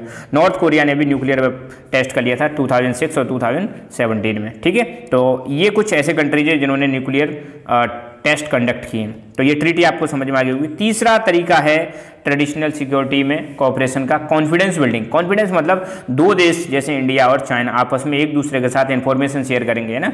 एक दूसरे के साथ मतलब बातचीत करेंगे, एक दूसरे के साथ मिलिट्री को लेकर इन्फॉर्मेशन शेयर करेंगे। अगर मिलिट्री एक जगह से दूसरी जगह मूव कर रही है तो जानकारी देंगे, ताकि दूसरे को ये ना लगे कि यार ये हम पे अटैक कर देंगे और पता चला कुछ मिसकनसेप्शन को लेकर आपस में लड़ाई हो जाए, ठीक है? तो traditional security except confidence building as a means of avoiding violence confidence building एक ऐसा तरीका है जिसके माध्यम से हम वायलेंस को अवॉइड कर सकते हैं मतलब वॉर लाइक सिचुएशन को हम कंट्रोल कर सकते हैं। ये ऐसा प्रोसेस है जहाँ पे कंट्रीज़ आपस में आइडियाज़ शेयर करती हैं इन्फॉर्मेशन शेयर करती हैं अपने राइवल्स के साथ। राइवल्स मतलब जो विरोधी हैं है ना? चाइना का राइवल इंडिया और इंडिया का राइवल चाइना तो ये आपस में एक दूसरे के साथ इन्फॉर्मेशन शेयर करती हैं। क्या शेयर करती हैं? जैसे आ, अपने दो दोनों देश आपस में एक दूसरे को बताते हैं कि भाई हमारी मिलिट्री इंटेंशंस क्या हैं? हमारे प्लान्स क्या हैं? खैर ये तो कागजों में लिखी हुई बात है। रियलिटी में कोई अपनी मिलिट्री इंटेंशन नहीं बताता ठीक है? They tell each other about the kind of forces they possess and their deployment अब वो एक दूसरे को बताएँगे भाई हमारी फोर्स कहाँ कहाँ पे लगी हुई हैं? हमारे पास कौन कौन से वेपन्स हैं? अगेन इन रियलिटी पूरी बात कोई आपस में एक दूसरे के साथ शेयर नहीं करता। हाँ थोड़ी बहुत इन्फॉर्मेशन एक्सचेंज होती है और इससे फ़ायदा ये होता है कि दो देशों में शांति थोड़ी बनी रहती है। उनको ये नहीं लगता कि यार ये हम पर कहीं अटैक ना कर दें। तो ये ऐसा प्रोसेस है, इसको इसलिए डिज़ाइन किया गया है ताकि जो राइवल्स हैं वो वॉर को ना चुने। खासकर मिसअंडरस्टैंडिंग और मिसपरसेप्शन के लेकर। कई बार क्या होता है, मान लो एक देश की सेना दूसरी जगह पर जा रही है, अपने ही देश में मूव कर रही है बॉर्डर वाले एरिया में तो सामने वाले देश को लगता है कि यार भाई, ये तो हम पर अटैक करने वाले हैं, कुछ बड़ा होने वाला है है ना? तो पहले ही बता दो, देखो भाई, हमारी सेना बस ऐसे ही ट्रेनिंग के लिए मूव कर रहे हैं ट्रेनिंग कर रहे हैं तो ऐसा हमारा कोई इंटेंशन नहीं है वॉर करने वाले हैं। तो ऐसा अगर बता दोगे तो सामने वाले का कॉन्फिडेंस बढ़ जाता है और वो फिर खतरनाक एक्शन नहीं लेते हैं राइट बस आज के लेक्चर में इतना ही। क्लास ट्वेल्थ का जो complete study material political geography history तीनों को आपको यहाँ पे मिल जाएगा लकी एजुकेशन पर। और साथ के साथ में वीडियोज़ की नोटिफिकेशन हमारे टेलीग्राम चैनल पर मिल जाएगी। अब तक आपने लकी एजुकेशन को सब्सक्राइब नहीं किया तो प्लीज़ सब्सक्राइब लकी एजुकेशन यहाँ पर क्लास ट्वेल्थ की हिस्ट्री जोग्राफी पॉलिटिकल की प्ले लिस्ट दे रखी है। इन प्ले लिस्ट को चेक करें और आप इनको यहाँ से वीडियोज़ देख सकते हैं। So thank you thank you so much keep learning keep enjoying and God bless you all hello everyone welcome to Lucky Education और आज का जो टॉपिक है हमारा वो है new sources of threat we are covering class twelfth political science chapter number five हम cover कर रहे हैं. Security and contemporary world book है आपकी क्लास ट्वेल्थ की पॉलिटिकल साइंस की? कंटेम्प्रेरी वर्ल्ड पॉलिटिक्स ठीक है? तो आज का जो टॉपिक है न्यू सोर्सेस ऑफ़ थ्रेट इससे पहले के सारे टॉपिक में ऑलरेडी कवर करा चुका हूँ, ठीक है? तो देखो, एक तो हमने देखा था थ्रेड्स में ट्रेडिशनल थ्रेड जो मतलब पुरानी थ्रेड हुआ करती थी, उनको हम कवर कर लेंगे ट्रेडिशनल थ्रेड में। ट्रेडिशनल थ्रेड में सबसे बड़ा थ्रेड तो आपको पता है, वही होता है मिलिट्री थ्रेड होता है। पर मिलिट्री थ्रेड के अलावा और भी थ्रेड्स होते हैं, जो मतलब एक ह्यूमन पॉपुलेशन को खतरे में डाल सकते हैं। ऐसा नहीं है कि सिर्फ़ मतलब कि भाई दूसरा देश मिलिट्रीली अटैक करेगा, यही सबसे बड़ा थ्रेड है। आज की डेट में आप देखोगे, इसके अलावा बहुत सारे नए नए चैलेंजेज इंसान के सामने आ गए हैं। तो पहला चैलेंज है इसमें टेररिज्म दूसरा है थ्रेस्ट टू ह्यूमन राइट्स तीसरा है आपका ग्लोबल पॉवर्टी फोर्थ है आपका माइग्रेशन और फिफ्थ है हेल्थ एपिडेमिक्स तो ये पाँच ऐसे थ्रेट हैं जिनको हम कैटेगराइज कर सकते हैं. न्यू सोर्सेस ऑफ़ थ्रेट में इनको कैटेगराइज कर सकते हैं. एक एक करके सबको हम देखेंगे. सबसे पहले टेररिज्म जिसको हम बोलते हैं आतंकवाद. आप सबने इसके बारे में सुना होगा. और भारत तो इसका बहुत ही ज़्यादा मतलब इस प्रकार से हम कह सकते हैं विक्टिम रहा है. टेररिज्म का, ठीक है? मुंबई, ताज होटल वाला आपने देखा होगा. इस पर मूवीज़ भी बनी हुई हैं. और अमेरिका भी इसका मतलब एक विक्टिम रह चुका है। इवन पाकिस्तान जो देश है, इसको मतलब ऐसा कहा जाता है कि भाई पाकिस्तान कहा जाता है। मतलब भारत में टेररिज्म को फैलाने का पूरा पूरा क्रेडिट किसको जाता है? पाकिस्तान को जाता है, ठीक है?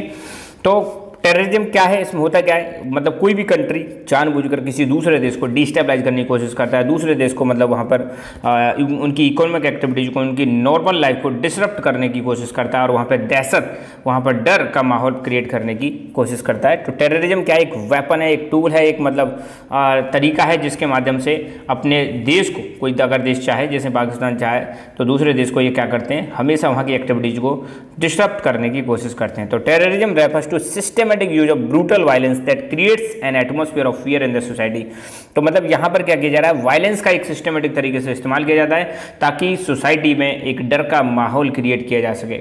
ठीक है? इंटरनेशनल जो टेररिज्म है, इसमें सिटीजन्स और टेरिटरी जो हैं, अब ज़रूरी नहीं है आप के मतलब एक ही देश में मतलब आप टेररिज्म फैलाओ। टेररिज्म में आपको देखने को मिलेगा, लोग जो हैं, एक से ज़्यादा देश के लोगों को, एक से ज़्यादा टेरिटरीज को ये मतलब इन्वॉल्व कर सकते हैं, ठीक है? It is use for many purposes इसका बहुत सारे पर्पज होते हैं, पर मेन पर्पज जो रहता है पॉलिटिको रिलीजियस पर्पज जैसे टेररिज्म में, यहाँ पर इनका पर्पज है भाई इस्लाम रिलीजन को मतलब बहुत ज़्यादा प्रमोट किया जाए तो मतलब एक रिलीजियस रीजन भी हो सकता है, और दूसरा इसमें पॉलिटिकल रीजन भी होता है। पॉलिटिकल रीजन की भाई सामने वाले देश को ग्रो मत करने दो, ठीक है? Civilian targets are chosen to terrorise public and use this as a weapon against national government यहाँ पे ज़्यादातर टेररिस्ट के द्वारा क्या कोशिश की जाती है कि ऐसे टारगेट्स को अटैक किया जाए, जहाँ पर सिविलियन लोग ज़्यादा रहते हो, आम जनता ज़्यादा रहती हो, ताकि वहाँ पे नुकसान ज़्यादा से ज़्यादा पहुँचाया जाए। तो सिविलियन टारगेट्स इसमें मतलब ज़्यादातर चूज़ किए जाते हैं, ताकि पब्लिक में डर का माहौल क्रिएट किया जा सके और इन्हीं को एक वेपन की तरह इस्तेमाल किया जाता है। टेररिज्म में क्या क्या हो सकता है? कौन कौन सी एक्टिविटीज़ आती हैं? प्लेन हाईजेक करना इसका एक एग्ज़ाम्पल है। ट्रेन में कैफेज में, मार्केट में और जो भी भीड़ भाड़ वाले इलाके हैं, क्राउडेड प्लेस, यहाँ पर ये बॉम्ब रख दिया जाता है इनके द्वारा। और देखो नाइन इलेवन की जब तक घटना नहीं हुई थी यूएसए में, तब तक यूएसए इसको ज़्यादा सीरियसली नहीं लेता था टेररिज्म को। जब इनके खुद के घर में सितंबर इलेवन सितंबर 2001 वहाँ पर 11 सितंबर 2001 को कैसे लिखते हैं? नाइन इलेवन नाइन का मतलब मंथ और 11 का मतलब डेट है ना? तो नाइन इलेवन की जब यूएसए में घटना हुई थी टेररिस्ट अटैक हुआ था यूएसए में, तब से इन्होंने थोड़ा ज़्यादा ध्यान दिया यूएसए गवर्नमेंट ने किस पर? टेररिज्म पर, ठीक है? इससे पहले बहुत ज़्यादा सीरियस नहीं लेते थे। दूसरा थ्रेट है ह्यूमन राइट्स ह्यूमन राइट्स के लिए भी थ्रेट है। ह्यूमन राइट्स कुछ बेसिक राइट होते हैं ह्यूमन बींग्स के, ठीक है? हर किसी के पास कुछ बेसिक राइट्स होते हैं, सबको जीने का अधिकार है, सबको रहने का अधिकार है, सबको एक अच्छे इन्वायरमेंट में रहने का अधिकार है तो कुछ बेसिक राइट्स हैं जिनको कोई डिनाई नहीं कर सकता, ठीक है? ह्यूमन राइट्स को मतलब हम क्लासीफाई कर सकते हैं तीन कैटेगरी में। नंबर एक पॉलिटिकल राइट्स पॉलिटिकल राइट्स में आपके फ्रीडम ऑफ़ स्पीच असेंबली ये आ जाएगा। इकोनॉमिक एंड सोशल राइट्स जिसमें आपका रोजी रोटी के सोर्सेस आ जाएँगे लाइवलीहुड के सोर्सेस आ जाएँगे, समाज में रहने के राइट्स आ जाएँगे।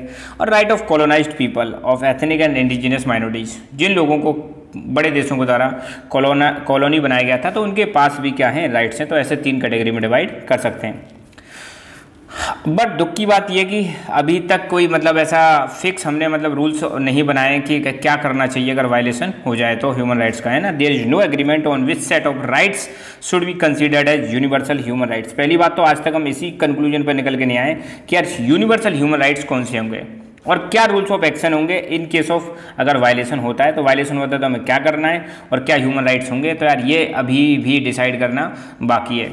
1990 में आपको देखने को मिलेगा, फ़र्स्ट गल्फ वॉर हुआ था 1990 में, और इराक ने इन्वेड कर दिया था कुवैत को। पर्शियन गल्फ में एक छोटा सा देश है कुवैत, और यहाँ पर इराक ने हमला कर दिया था, जिसको हम बोल सकते हैं फ़र्स्ट गल्फ वॉर की शुरुआत हो गई थी। और ये एक एग्ज़ाम्पल है मतलब ह्यूमन राइट्स के मतलब यहाँ पे बहुत सारे लोगों को मारा गया था, और बहुत सारे लोगों की जान चली गई थी कहाँ पर? कुवैत में। दूसरा जिनोसाइड इन रवांडा रवांडा में जिनोसाइड हुआ था। ये जिनोसाइड वर्ड तभी है ना जो समझ लो बहुत बड़े लेवल पर नरसंहार, क्या हुआ था? नरसंहार हुआ था। तो इराक ने इन्वेजन कब किया था? ये चीज़ आपको ध्यान रखनी है। 1990 1991 में इराक ने कुवैत पर हमला किया था। तो बहुत सारे लोग यहाँ मारे गए थे। रवांडा में जिनोसाइड हुआ था। Rwanda genocide you understand genocide Rwanda का मतलब है, रवांडा कंट्री ये कहाँ पर पड़ता है? ये अफ्रीका में आता है रवांडा कंट्री लगभग लगभग ऐसा बताते हैं, यहाँ पे सिविल वॉर हो गया था और आठ लाख से ज़्यादा लोग मारे गए थे सिविल वॉर कम से कम सौ दिन से ज़्यादा चलता है। कुछ यहाँ पे लोकल लोग हैं हुटी टुटसी तवा कुछ ऐसे करके लोग हैं तो हुटसी तुटसी और हुटू जो लोग हैं, उनमें आपस में ही सिविल वॉर हो गया था। तो इस सिविल वॉर के दौरान लगभग आठ लाख से ज़्यादा लोग मारे जाते हैं। तो इसलिए बोलते हैं जिनोसाइड बहुत सारे लोग मारे गए थे। Indonesian militaries killing of people in East Timor East Timor में आपको अभी दिखाऊँगा। इंडोनेशिया की बगल में एक छोटा सा देश है, जैसे मान लो ये इंडोनेशिया है। यहीं पर एक देश है ईस्ट तिमूर तो इन्होंने इंडोनेशिया की आर्मी ने ईस्ट तिमूर पर क्या कर दिया था? हमला कर दिया था। और यहाँ पर भी बहुत सारे लोग मारे जाते हैं ईस्ट तिमूर में। ठीक है? और पर्पज यही था कि कम्युनिज्म को फैलने से रोका जाए। Have led to debate that UN should interfere to stop human rights abuse अब यहाँ पे आपने देखा कई देशों ने दूसरे देशों में जाके मतलब वहाँ के लोगों को मारा, है ना? इराक ने घुस के कुवैत में कुवैत के लोगों को मारा। जिनोसाइड हुआ रवांडा में सिविल वॉर की वजह से। इंडोनेशिया की आर्मी मार रही है, कहाँ पर? ईस्ट तिमुर में जाके। अभी करंट में कुछ ऐसे चल रहे हैं, जैसे आपको देखने को मिलेगा करंट को अगर हम इसमें लिंक करें तो रशिया और यूक्रेन का इशू चल रहा है। यहाँ पर बहुत सारे लोग मारे जा रहे हैं, ठीक है? इजराइल और फिलिस्तीन का इशू चल रहा है। यहाँ पर बहुत सारे लोग मारे जा रहे हैं। कई हज़ार लोग मतलब मारे जा चुके हैं अब तक, है ना? फिलिस्तीन में, इजराइल के द्वारा। तो मतलब ये भी एक एग्ज़ाम्पल है ह्यूमन राइट्स का। तो ऐसे में यार मतलब अपना जो मतलब ऑर्गेनाइजेशन है यूएन इसकी ज़िम्मेदारी बनती है कि इंटरफेयर करें और ये जो ह्यूमन राइट्स का जो अब्यूज हो रहा है, जो वायलेशन हो रहा है, इनको रोके। ठीक है? तो देखो ये देश जो है, ये है आपका यहाँ तक इंडोनेशिया इंडोनेशिया सारा। ठीक है? तो यहाँ पे ऑस्ट्रेलिया के ऊपर एक छोटी सी जगह आपको दिखेगी। तो इसमें जो ये सेडेड वाला पोर्शन है, इसको हम बोलते हैं ईस्ट तिमूर है ना? इसमें मतलब मोस्टली हिस्सा तो मतलब इंडोनेशिया का ही और छोटा सा हिस्सा, ईस्ट तिमूर है। तो ईस्ट तिमूर करके ऐसे यहाँ पे एक कंट्री है दिल्ली इसकी कैपिटल है। तो यहाँ पर इंडोनेशिया के द्वारा क्या कर दिया गया था?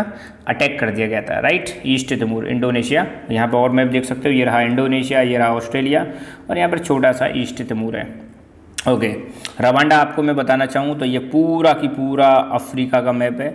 और यहाँ पर आपको मिलेगा रवांडा। रवांडा के आसपास कुछ कंट्री आपको देखने को मिलेंगे जैसे बुरुंडी उगांडा कीनिया तो यहाँ पे ये रहा आपका रवांडा। ये बुरूनी ये उगांडा और यहाँ पर एक देश है तंजानिया अंडरस्टूड तो ये रवांडा की बात हो गई। फिर हम बात करें आ, ये देखो यहाँ पर ये वाला जो है इसको तो बोलते हैं रेड सी क्या बोलते हैं? रेड सी ये है मेडिटेरेनियन सी ये है ब्लैक सी और यहाँ पर ये वाला जो एरिया है इसको हम बोलते हैं पर्शियन गल्फ़ ये ईरान है है ना? ईरान, ये इराक है। तो इराक ने कुवैत पर हमला कर दिया था और ये रेड में जितने भी कंट्री दे रखे हैं, इनको बोलते हैं गल्फ़ कंट्रीज़ कभी आपको सुनने को मिले गल्फ़ कंट्रीज़ कौन कौन से आते हैं गल्फ़ कंट्रीज़ में तो बता देना, Iraq, Saudi Arabia, Kuwait, Bahrain, Qatar, UAE, Oman आते हैं। गल्फ़ कंट्रीज़ में। ध्यान रखना, गल्फ़ कंट्रीज़ में यमन नहीं आता है बस, है ना? तो ये वाला भी मैप आपको थोड़ा ध्यान रखना है। अगला प्रॉब्लम है हमारी ग्लोबल पॉवर्टी एक और मतलब जो न्यू सोर्स ऑफ़ थ्रेड में। अब यार देखो तुम मतलब वैसे लोग नहीं मरते, युद्ध बुद्ध तो कभी कभार होते हैं कभी कभी वॉर होते हैं, साल में, दो साल में छः साल में ना? मगर यार गरीबी से तो लोग हर दिन मारे जा रहे हैं। तो ये अपने आप में एक बड़ी समस्या है। तो ग्लोबल पॉवर्टी अपने आप में एक बड़ी इनसिक्योरिटी है। Population of poorest nation is expected to triple in next fifty years अगले पचास सालों में जो गरीब देश है ना, उनकी पॉपुलेशन तीन गुना बढ़ जाएगी। जबकि रिच कंट्रीज़ की बात करें डेवलप्ड कंट्री की बात करें तो उनकी पॉपुलेशन आने वाले पीरियड में घटने वाली है। तो ये जो ब्लू ब्लू दिखा रखे हैं रिच कंट्रीज़ है, इनकी पॉपुलेशन आने वाले समय में गिर जाएगी और ये थोड़े रेड रेड बता रखे हैं, ये डेवलपिंग कंट्री इनकी पॉपुलेशन आने वाले समय में बढ़ जाएगी। ठीक है? High per capita income low population growth which make rich state get richer आप देखो डेवलप्ड कंट्री की एक पहचान होती है। इनकी पर कैपिटल इनकम बहुत ज़्यादा होती है, प्रति व्यक्ति आय बहुत ज़्यादा होती है पॉपुलेशन ग्रोथ यहाँ पे कम होती है, जिसकी वजह से ये रिच ले रिच कंट्री रिच बनते जा रहे हैं। जबकि इन देशों की बात करें डेवलपिंग कंट्रीज़ की तो यहाँ पे पर कैपिटल इनकम कम होती है पॉपुलेशन ग्रोथ बहुत ज़्यादा होती है, और ज़्यादा पॉपुलेशन की वजह से आपको पता है रिसोर्सेज ज़्यादा डिवाइड हो जाते हैं, और इतना ज़्यादा डेवलपमेंट नहीं हो पाता, जिसकी वजह से ये गरीब देश और गरीब बनते जा रहे हैं। तो आपको एक चीज़ यहाँ पर देखने को मिलेगी रिच रिच होते जा रहे हैं और गरीब गरीब होते जा रहे हैं। तो इनके बीच में जो ग्लोबल डिस्पेरिटी है, ये डिस्पेरिटी बहुत ज़्यादा बढ़ती जा रही है नॉर्दर्न और सदर्न कंट्रीज़ के बीच में। तो इनको बोलते हैं ग्लोबल नॉर्थ और नीचे वालों को बोलते हैं ग्लोबल साउथ ध्यान रखना ग्लोबल नॉर्थ में ऑस्ट्रेलिया भी आता है है ना? तो ग्लोबल नॉर्थ कैसे कंट्रीज़ हैं? रिच कंट्रीज़ हैं डेवलप्ड कंट्रीज़ है। और इंडस्ट्रियलाइज नेशंस हैं। इसके अपोजिट ग्लोबल साउथ में आपको गरीब कंट्रीज़ देखें पुअर कंट्रीज़ देखने को मिलेंगे डेवलपिंग कंट्रीज़ देखने को मिलेंगे हाई पॉपुलेशन यहाँ देखने को मिलेगी और लो पर कैपिटल इनकम देखने को मिलेगी। तो इनके बीच में गैप जो है ग्लोबल नॉर्थ और ग्लोबल साउथ का, वो बढ़ता ही जा रहा है। प्लस आपको ये भी देखने को मिलेगा जो डेवलप्ड कंट्री इनकी पॉपुलेशन बहुत ज़्यादा कम होने वाली है। जैसे Japan population drops by nearly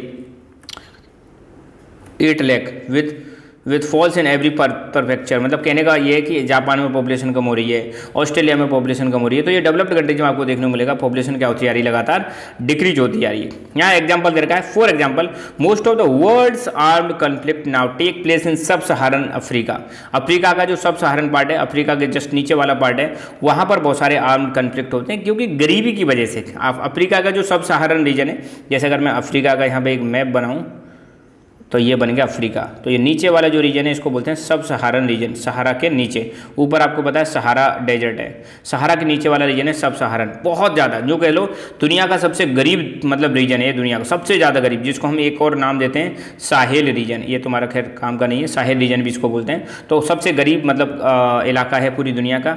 और यहाँ पर आपको देखने को मिलेगा, लोग जो है लगातार लड़ाइयाँ चलती रहती हैं और जितने लोग पूरी दुनिया में मारे जा रहे हैं वॉर्स में उससे ज़्यादा लोग तो अकेले साहिल रीजन में मारे जाते हैं। क्यों? गरीबी बहुत ज़्यादा है यहाँ पर। लोग लड़ते रहते हैं आपस में। सिविल वॉर चलते रहते हैं। कभी भी यहाँ पे सरकारों का तख्ता पलट कर दिया जाता है, कू कर दिया जाता है। कभी भी मिलिट्री सरकार को हटा देती है। अच्छा problem of poverty in south led to large scale migration for better economic opportunities in north. आप देखो, जो साउथ में जो कंट्रीज़ है, वहाँ पर ज़्यादा मतलब गरीबी होने की वजह से लोग जो है नॉर्थ में माइग्रेट कर रहे हैं, है ना? और इसकी वजह से पॉलिटिकल टेंशन भी बढ़ रही है इंटरनेशनल लेवल पर, क्योंकि जब यहाँ पे साउथ में जब टेंशन बढ़ेंगे तो लोग माइग्रेट करेंगे, दूसरी जगह जाएँगे और वहाँ के लोग फिर इसका प्रोटेस्ट करेंगे तो ऐसे करके एक टेंशन बढ़ जाएगी। अगला नया थ्रेट है हमारा माइग्रेशन माइग्रेशन का मतलब क्या? जब लोग एक जगह से दूसरी जगह चले आते हैं तो उसको माइग्रेशन बोलते हैं। जोग्राफी में आपने पढ़ा हुआ माइग्रेशन के दो दो टाइप के मतलब माइग्रेशन होते हैं। पुश फैक्टर और पुल फैक्टर है ना? पुश फैक्टर में क्या होता है, कुछ कंडीशंस ऐसी हो जाती हैं कि लोगों को निकलने के लिए मजबूर कर दिया जाता है कि भाई इस जगह को छोड़ के चले आओ। जो प्लेस ऑफ़ ओरिजिन है, वो लेस अट्रैक्टिव लगता है। एक होते हैं पुल फैक्टर कुछ दूसरी जगह पर कुछ ऐसी कंडीशंस होती हैं जो आपको खींच लेती हैं अपनी तरफ़ यार ये बेटर चीज़ है, यहाँ पे आप आ जाओ। ठीक है? तो माइग्रेशन की वजह से भी माइग्रेशन भी अपने आप में एक बहुत बड़ी समस्या है। तो poverty in south led to large scale migration to north and in search of better life and greater economic possibilities has created international tension तो आपको देखने को मिलेगा कि ज़्यादा गरीबी होने की वजह से साउथ में साउथ मतलब ग्लोबल साउथ की बात की जा रही है। लोग जो है बेटर अपॉर्चुनिटी के लिए, ज़्यादा इकोनॉमिक अपॉर्चुनिटीज़ के लिए नॉर्थ की तरफ़ माइग्रेट कर जाते हैं उससे इंटरनेशनल टेंशन बढ़ रही हैं। International law and conventions distinguish migrant and refugee migrant और रिफ्यूजी में बिल्कुल डिफ्रेंशिएशन क्रिएट किया गया है कि क्या अंतर है इनमें? ठीक है तो आपको याद होना चाहिए कि माइग्रेशन माइग्रेंट और रिफ्यूजीज में क्या अंतर है। तो माइग्रेंट का मतलब तो वो होता है जब, सोचो, आप अपनी मर्ज़ी से, आप मान लो किसी एक जगह पर रहते हो जस्ट इमेजिन आप आप मान लो इंडिया में रहते हो, आप अपनी मर्ज़ी से कहाँ चले गए, आप यूएसए में चले गए तो आपको बोलेंगे माइग्रेंट आपने अपनी मर्ज़ी से घर छोड़ा है तो migrant are those who leave their home home nations voluntarily अपने होम कंट्री को वो अपनी इच्छा से छोड़ देते हैं। दूसरा रिफ्यूजी रिफ्यूजी में आपने सुना होगा इंडिया की पड़ोसी देश है और यहाँ पे पड़ोसी देश का नाम है म्यांमार म्यांमार में यहाँ पे कुछ ऐसा मतलब क्राइसिस हुआ, यहाँ पे रोहिंग्या मुस्लिम्स को यहाँ पे मतलब बुद्धिस्ट जो लोग हैं उनके द्वारा, उन पर ऑपरेशन किया जा रहा है उनको प्रोसिक्यूशन किया जा रहा है, उनको परेशान किया जा रहा है तो वो रोहिंग्या मुस्लिम्स भाग भाग के इंडिया में बांग्लादेश में श्रीलंका में ऐसे जा रहे हैं। तो जब लोग अपनी मच मतलब अपनी मर्ज़ी से ना जाएँ, है ना? और उनको मजबूर किया जाए वहाँ से भागने के लिए, अब चाहे वो कोई पॉलिटिकल रीजन हो, चाहे कोई सिविल वॉर हो, या कोई नेचुरल डिजास्टर हो तो जो बेचारे मजबूरी में आते हैं, जिनको फोर्स किया जाता है कि अपनी जगह को छोड़ दो, उन लोगों को बोलते हैं रेफ्यूजी आप अपनी मर्ज़ी से जा रहे हो तो माइग्रेंट आप अपनी मर्ज़ी से नहीं जा रहे हो तो रेफ्यूजी है ना? तो refugees are those who are force to escape their homes और those who flee from war natural disaster और पॉलिटिकल परसिक्यूशन है ना? State generally accept refugees but to not accept migrant state जो है रिफ्यूजीज को एक्सेप्ट कर लेते हैं। माइग्रेंट को आसानी से एक्सेप्ट नहीं करते, इसलिए माइग्रेंट्स के अलग रूल होते हैं। एक डेफिनेशन है और है इंटरनली डिस्प्लेस्ड पीपल ठीक है? सपोज़ कोई व्यक्ति यहाँ महाराष्ट्र में रहता है और वो जस्ट इमेजिन जॉब के लिए कहाँ चला जाता है? तमिलनाडु में चला जाता है। तो महाराष्ट्र से कहाँ पर चले गए? तमिलनाडु में। तो ये गया तो अपने देश में ही ना भाई साहब व्यक्ति। तो जब लोग अपने देश में एक जगह से दूसरी जगह चले जाते हैं, है ना? उसको हम बोलते हैं इंटरनली डिस्प्लेस्ड पीपल मतलब देश छोड़ कर नहीं जा रहे, अपने बाउंड्री के भीतर ही हैं। तो individuals who left their home but remain within the national borders are known as internally displaced people ऐसे लोगों को हम बोलेंगे इंटरनली डिस्प्लेस्ड पीपल अगली सबसे बड़ी समस्या है हमारी हेल्थ एपिडेमिक ये तो आपने देख ही लिया कि कोविड नाइन्टीन के दौरान कितने सारे लोगों की डेथ हुई थी थ्रू आउट दी वर्ल्ड है ना? तो और फिर जितनी भी बड़ी ऐसी महामारियाँ आती हैं तो इनसे बहुत ज़्यादा लेवल पर क्या होता है? नुकसान होता है राइट तो epidemic such as H I V AIDS bird flu severe acute respiratory syndrome जिसको सार्स बोलते हैं, ये दुनिया भर में बढ़ रही हैं। और क्यों बढ़ रही हैं? शायद इसके पीछे रीजन है माइग्रेशन बिज़नेस टूरिज़्म और मिलिट्री ऑपरेशन लोग जो है एक जगह से दूसरी जगह जाते हैं तो वो बीमारियों को भी ले जाते हैं। Failure of a nation in limiting spread of this disease affect infection in other countries और जब कंट्रीज़ ये इनको रोक नहीं पाते, जैसे मान लो इंडिया से कुछ लोग चाइना गया चाइना से लोग इंडिया में आए, अगर उनका प्रॉपर चेकअप ना किया जाए बीमारी के टाइम पे तो इसकी वजह से बीमारियाँ और बढ़ जाती हैं इन्फेक्शन और बढ़ जाते हैं।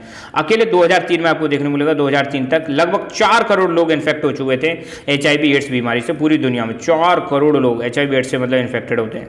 Two third of them are in Africa and rest are in South Asia मतलब आपको देखने को मिलेगा, ये जो केस हैं, जो एच एड्स के केस हैं, इसमें लगभग लगभग सिक्सटी परसेंट केस अकेले कहाँ के? अफ्रीका के। अब अफ्रीका में इतने सारे केस क्यों आ रहे हैं? क्योंकि अगेन वहाँ पर ज़्यादा अवेयरनेस नहीं है, गरीबी बहुत ज़्यादा है तो ध्यान ध्यान नहीं देते हैं।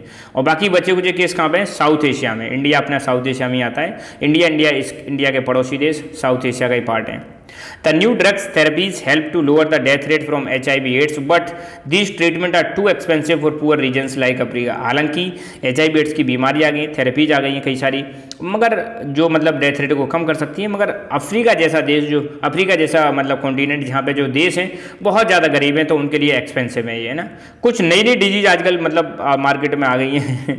Ebola virus hanta virus hepatitis C Covid nineteen है ना? और जैसे पुरानी डिज़ीज़ भी हैं, आज की डेट में ट्यूबरक्लोसिस मलेरिया डेंगू कोलेरा ये ये जो पुरानी डिज़ीज़ हैं, इन्होंने अपने आप को ऐसा डेवलप कर लिया कि इन पर दवाइयों का असर नहीं पड़ता। तो इन्होंने क्या डेवलप कर लिया? ड्रग रजिस्टेंट फॉर्म डेवलप कर लिया। ड्रग रजिस्टेंट का फॉर्म का मतलब है, आप सोचो डेंगू की दवाई पहले तैयार कर लिया आपने। अब डेंगू का जो मतलब कॉज करने वाला जो मतलब फैथोजन है, उसने अपने आप को इतना मज़बूत कर लिया कि जो एग्जिस्टिंग आपकी मेडिसिन है, वो उस पर काम ही नहीं करती हैं। तो पुरानी बीमारियों ने तो अपने आप को क्या कर लिया? ड्रग रजिस्टेंट मतलब आपको दवाई दो, कोई फ़र्क नहीं पड़ेगा। और कुछ नई नई बीमारियाँ आई रही हैं तो ये अपने आप में कुल मिला दोनों ही डेंजरस हैं। नई बीमारियाँ भी डेंजरस हैं और पुरानी भी अपने आप में डेंजरस हैं। इसलिए कहते हैं कि जो मेडिसिन हैं, वो डॉक्टर की प्रिस्क्रिप्शन के आधार पर ही लेनी चाहिए। So there is a need for international cooperation to handle health epidemics issues in better way तो अगर हेल्थ एपिडेमिक्स के इश्यूज़ को अगर बढ़िया तरीके से कंट्रोल करना है तो हमें इंटरनेशनल लेवल पर कॉपरेट करने की ज़रूरत है। ठीक है? एपिडेमिक्स जानवरों में भी फैल सकती है। इससे हमारी इकोनॉमी पर बहुत बड़ा प्रभाव पड़ता है, क्योंकि जानवरों यूरोप पर बहुत सारी इकोनॉमी हमारी डिपेंडेंट है। अब ब्रिटेन का यहाँ पे एक एग्ज़ाम्पल दे रखा है, अंग्रेज़ों का एक एग्ज़ाम्पल दे रखा है ब्रिटेन का। Britain has lost billions of dollars of income during mad cow disease outbreak and world flu that shut down supply of poultry export from Asian countries मतलब ब्रिटेन में क्या हुआ? एक बीमारी फैली मेड काउ डिज़ीज़ डिज़ीज़ का नाम क्या है? Mad cow disease neurological disorder है, जो जानवरों में होता है। 1980s की बात है 1980s और 1990s में फैला था। लगभग लगभग चार million four million four million मतलब होता है चालीस लाख कैटल इस समय मर जाती है और इसकी वजह से ये भी देखने को मिलता है। एशिया से जो मतलब पाउल्ट्री एक्सपोर्ट होती थी, उसको इन्होंने बैन करवा दिया। तो इसका प्रभाव आपका देखने को मिलेगा। यूरोप में भी हुआ एज वेल एज एशिया में भी हुआ। यहाँ पर ये हमारा कंप्लीट हुआ। एक इंपॉर्टेंट इन्फॉर्मेशन है क्लास ट्वेल्थ की history political geography complete syllabus मैंने यहाँ पे अपलोड कर रखा है। तो ये हिस्ट्री की प्लेलिस्ट है, ये आपकी पॉलिटिकल साइंस की दोनों बुकों की प्लेलिस्ट है, ये जोग्राफी की प्लेलिस्ट है। यहाँ पर वन शॉट वीडियोज़ की भी प्लेलिस्ट मैंने अलग से बना रखी है तो उनको आप देख सकते हो प्लेलिस्ट में जाके और अपना कोर्स कंप्लीट यहाँ से कर सकते हो। और एक बहुत इंपॉर्टेंट एक मतलब रिक्वेस्ट भी आपसे कि प्लीज़ सब्सक्राइब रखिए एजुकेशन अगर आपको वाकई में इससे मतलब बेनिफिट मिल रहा है, अगर आपको वाकई में फ़ायदा पहुँच रहा है वीडियो से तो इसको सब्सक्राइब करें और अपने वीडियोज़ की नोटिफिकेशन के लिए अपना टेलीग्राम चैनल है लक्की एजुकेशन इसको भी ज्वाइन कर लें। So thank you thank you so much keep learning keep enjoying and God bless you all hello everyone welcome to Lucky Education और आज हम देखेंगे cooperative security and India security strategy ये दो टॉपिक देखेंगे, इसके बाद ये चैप्टर अपना कंप्लीट हो जाएगा। क्लास ट्वेल्थ की पॉलिटिकल साइंस बुक अपनी हम कवर कर रहे थे कंटेम्प्रेरी वर्ल्ड पॉलिटिक्स तो शुरुआत करते हैं कोऑपरेटिव सिक्योरिटी नाम से ही पता चल रहा है यार कोऑपरेटिव का मतलब है मिलजुल कर जहाँ पे कई सारे ऑर्गेनाइजेशन या कई सारे देश मिलजुल कर सिक्योरिटी की बात करते हैं,